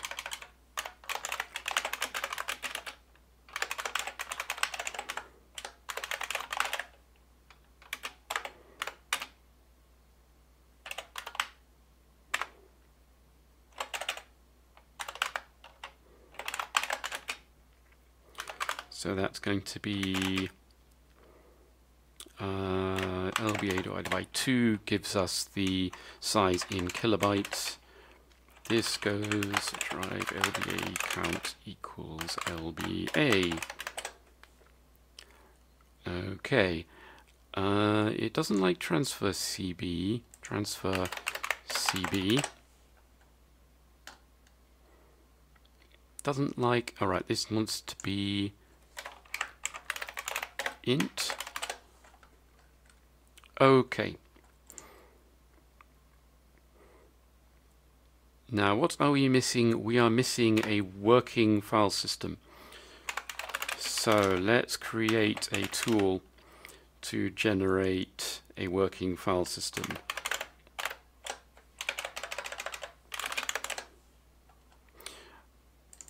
This is not a kernel file.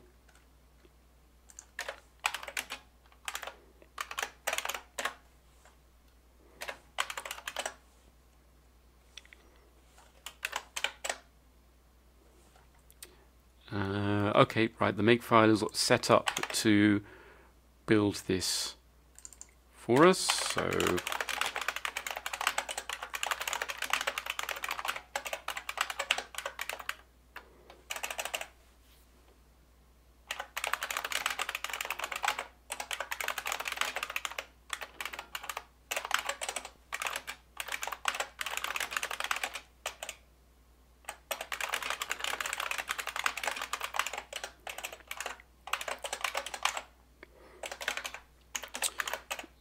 Okay, so input file. Uh,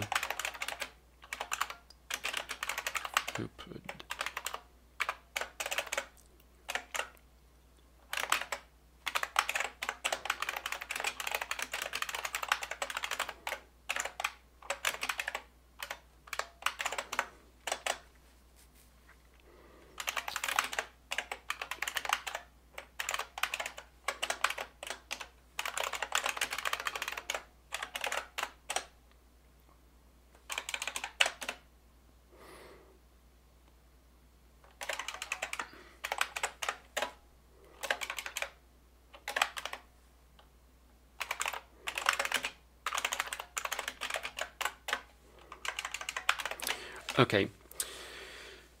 So the first for for each eight uh, for each seven sector block, we need to write out the metadata. If we do that, we'll get a zero initialized array. Uh, so the metadata is going to be zero for the erase count, which we haven't actually done anything with yet and the block number goes in the next two bytes in little endian order. So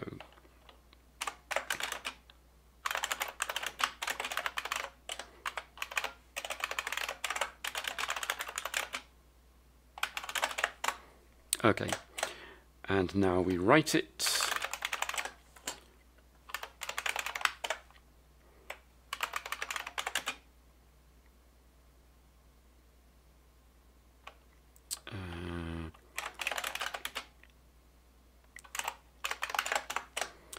Now we read in the seven sectors and write them out again.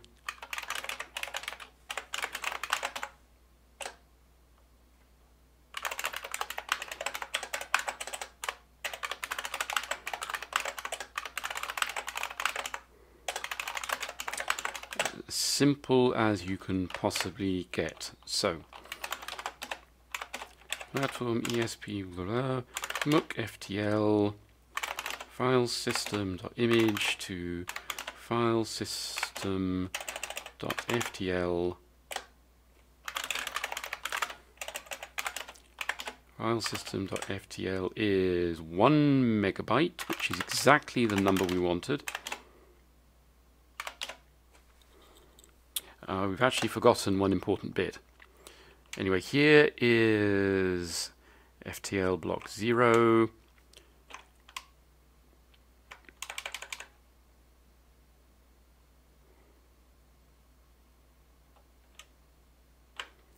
Uh,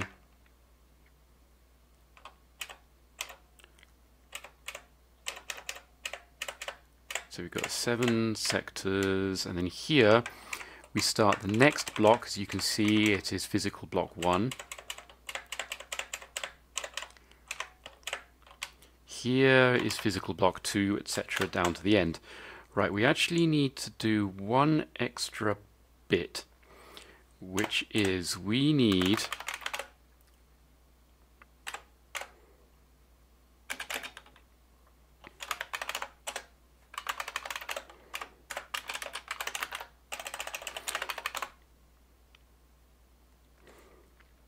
we need to write out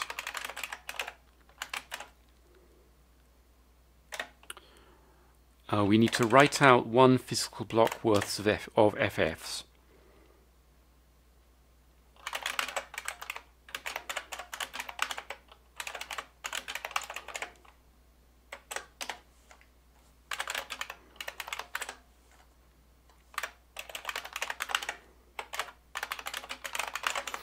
This will become the spare block.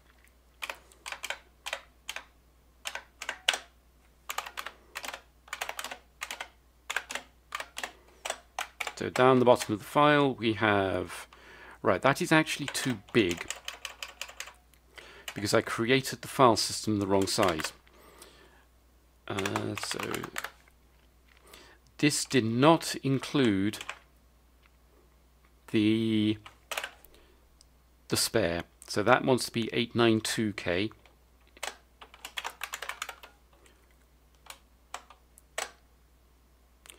So we can recreate the file system, turn it into FTL.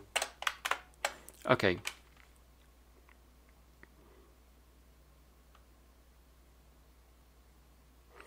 So here is our spare block right at the end.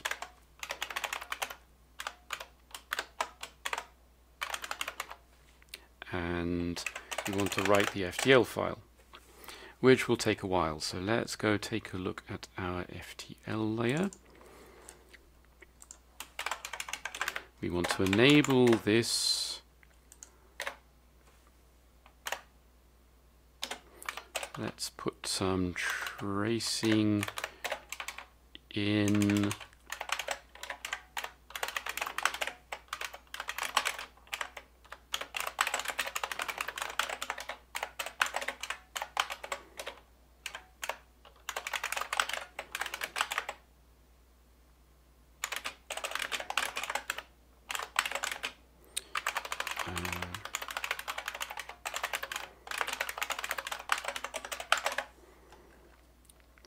Okay, and we want some tracing here, so hey printf uh, read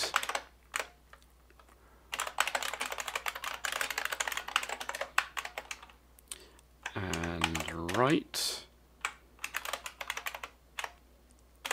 Actually, let's put that here.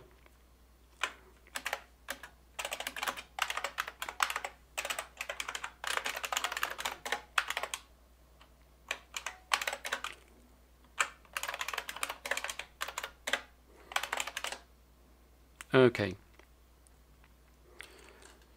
So we should now see a line of tracing, or possibly even put semicolon, a backslash there where it's supposed to be, for every read and write, and also when the flash initializes.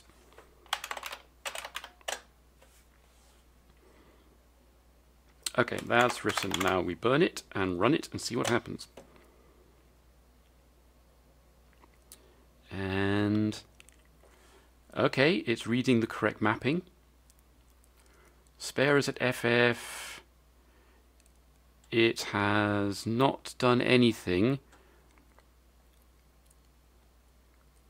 because I have not uh, initialized it. We actually want to call flash dev init.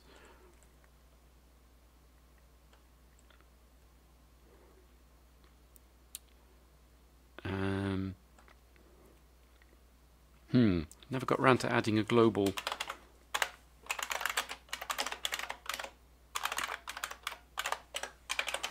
header file for the platform.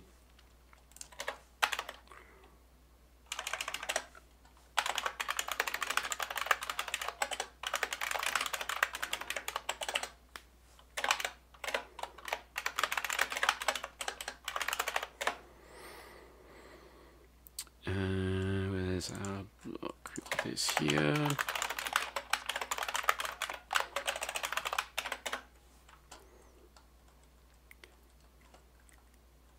And in here.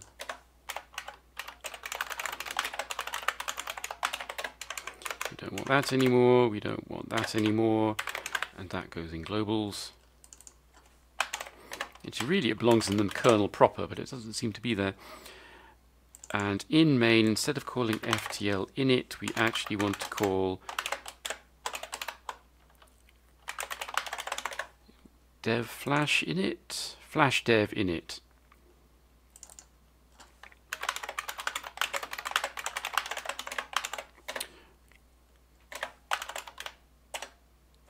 Okay, we don't need to burn the file system, we just need to update the code.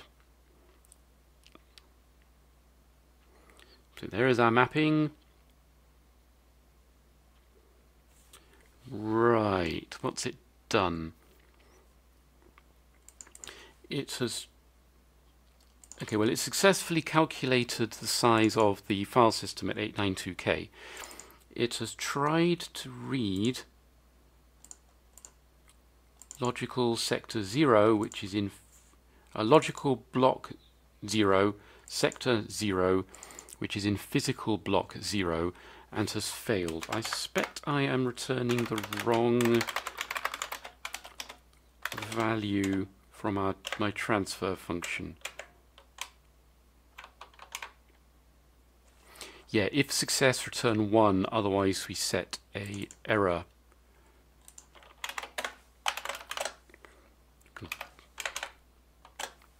So let's see what this does.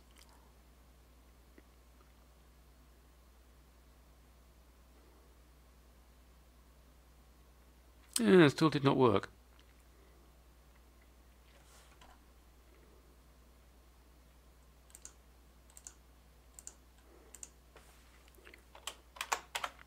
Do I need to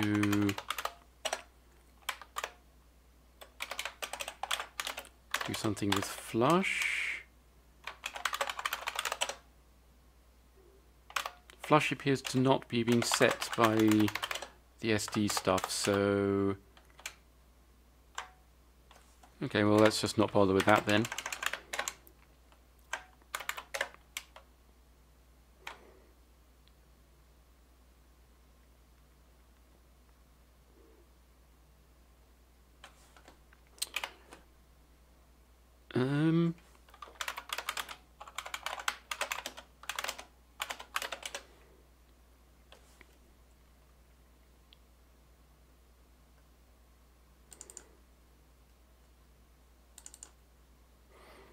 I do need to tell it the number of...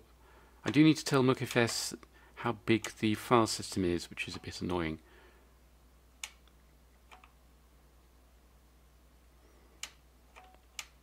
and the block size.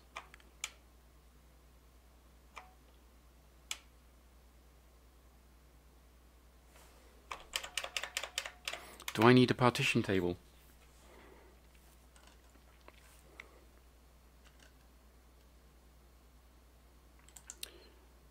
Uh, it's possible. It's possible I'm using the wrong boot device. So that was documented in start.c here.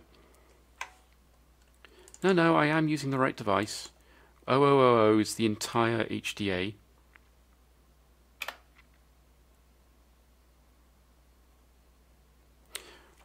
do I need to, in here, do I need to set something to tell it how, how many bytes have been read?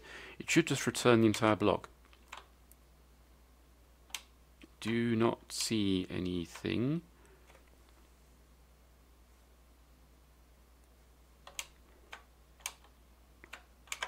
No, that looks okay. Okay, well, let's take a look at dev MBR.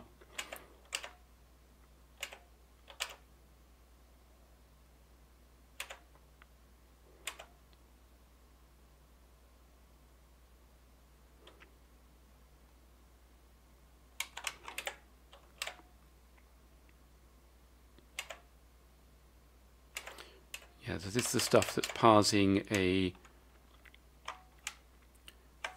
uh, parsing the partition table. So I do not recall it saying that. So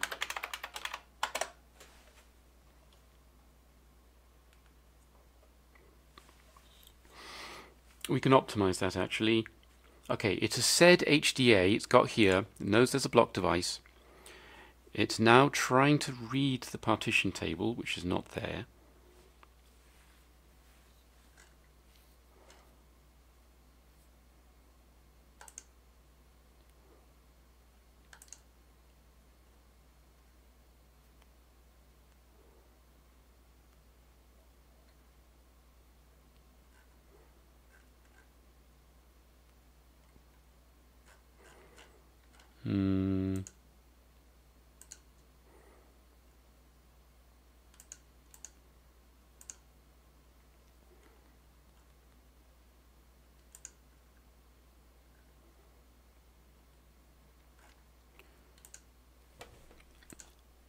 So where is it actually?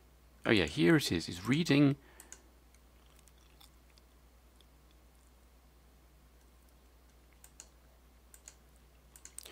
Okay, I think that's actually working, to be honest. I think it is looking for partition table, failed to find it, and is proceeding to the root file system mount bit. It says it's tried to mount root dev 0 read only.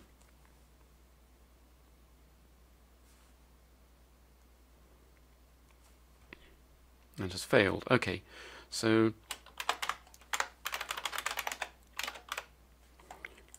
uh,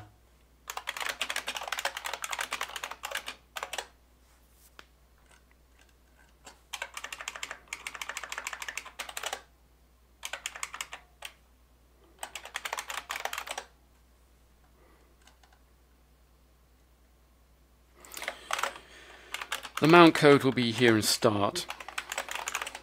Here we go, mount root file system. Uh, F mount has failed. This is our root device. So let's go look for F mount. Filesys.c.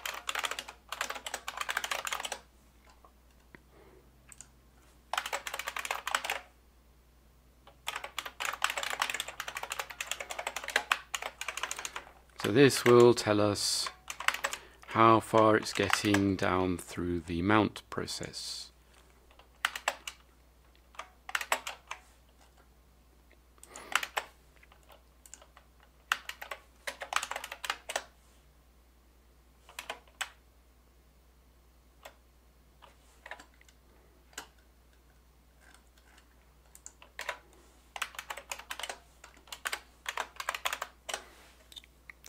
See what this says.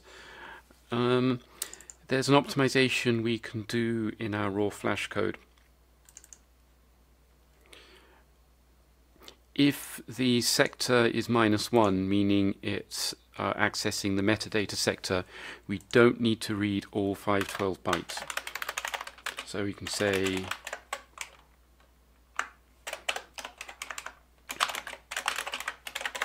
we can do that.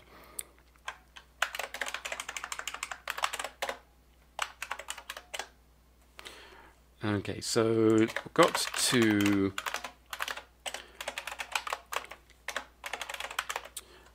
uh, it got to here, it got to here. It then failed to read the buffer with the super block in it. It also looks like it didn't even bother trying.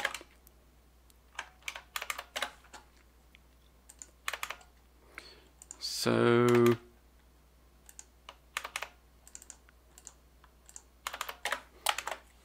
Why was that? Where is bread? dev.io.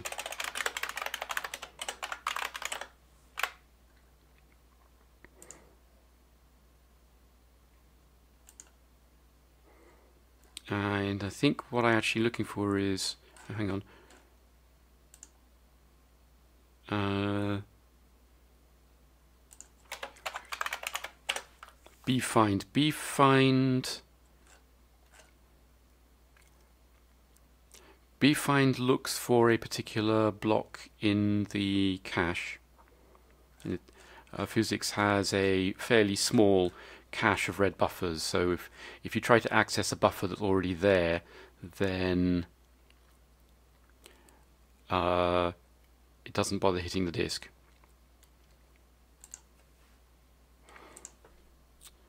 Uh, BD read, maybe?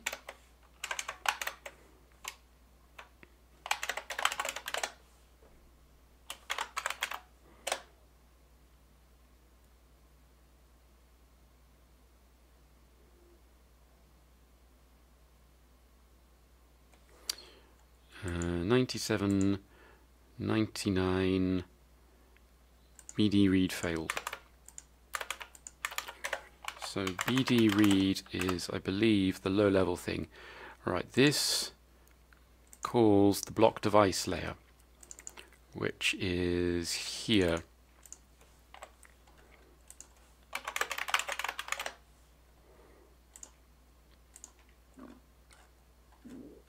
Which eventually hits here.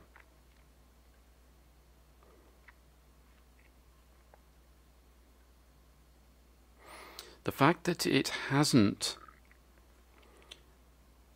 uh, we haven't seen any tracing from the flash device so it hasn't even bothered to try and call it which suggests that it's um, it thinks something's wrong and isn't actually doing it. Okay, so let's stick our tracing lines in here.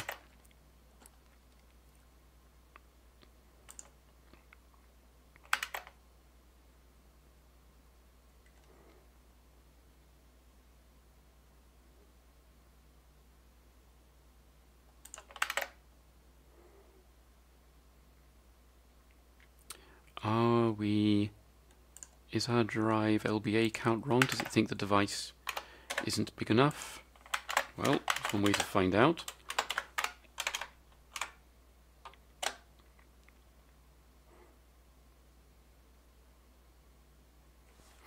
This mount process isn't isn't much faster. Ooh, no tracing. No tracing at all. That means it's not getting this far.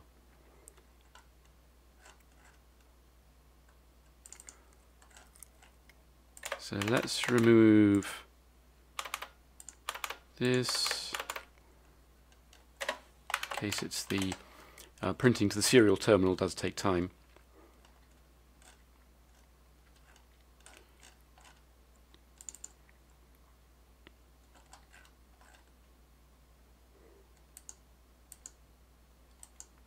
So if it's not hitting block dev read, then something here is failing, but there isn't anything to fail.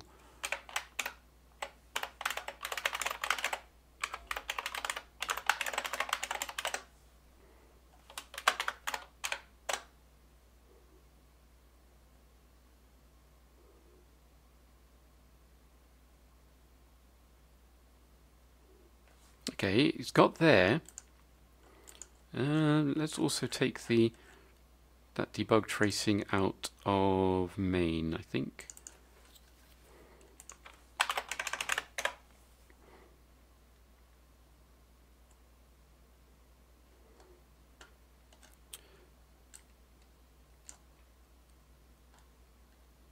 So, oh, remember what I said about stupid problems? Uh, I disabled config ID, which means there is in fact no block device there. So we want this. Okay, let's give this a try.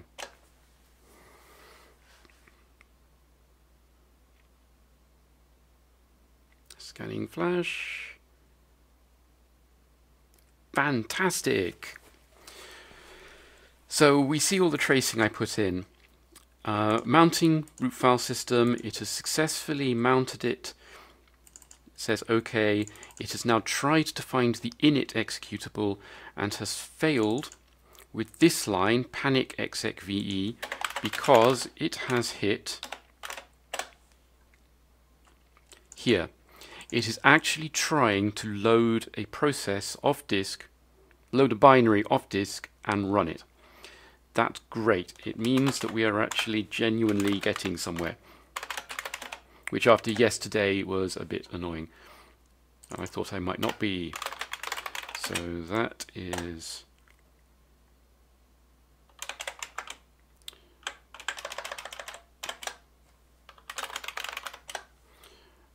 Uh, I think I also need to io.c. Uh, let's go into our... Actually, I'm going to leave the tracing in the FTL layer because I want it. Uh,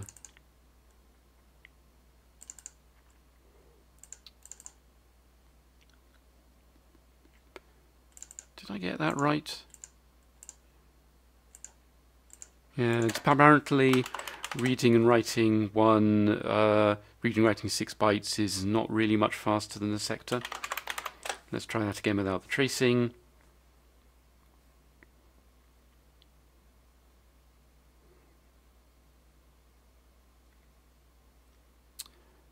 Yep, okay. So this line is it looking at the partition table. This line is it uh, looking at the file system superblock. The file system is currently empty, which is why, you know, there's nothing there. All right, that is some good progress for the day. I will commit this.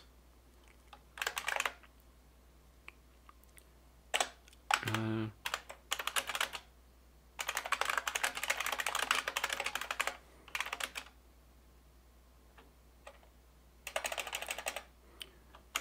Yeah, I can't call it an FTL layer. It's just not allowed. Uh,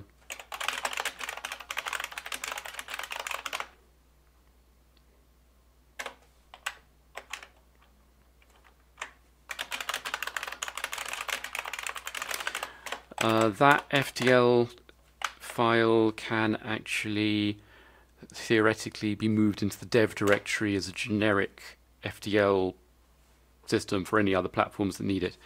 Uh, that's why I did it in its own uh, file. It would be nice to be a bit smarter. I mean, it is wasting one eighth of the flash, and it also wants to be more configurable. I mean, you saw how long it took to scan the flash on startup. Uh, but that's just for a one megabyte partition. Imagine what it'd be like bigger than that. Uh, yeah. There are other ways to do this. Uh, you can stash the the map in a spare flash block. Uh, that means it will have to move around whenever you update it, just like everything else. This will involve three erasers per operation, unfortunately. Uh, you can delay writing back the map until you know so a little bit of time has passed, or somebody calls flush. That's what flush is for. But you're not really terribly happy with any of that. This is simple and works. So, gonna call it a day. Hope you enjoyed this video. Please let me know what you think in the comments.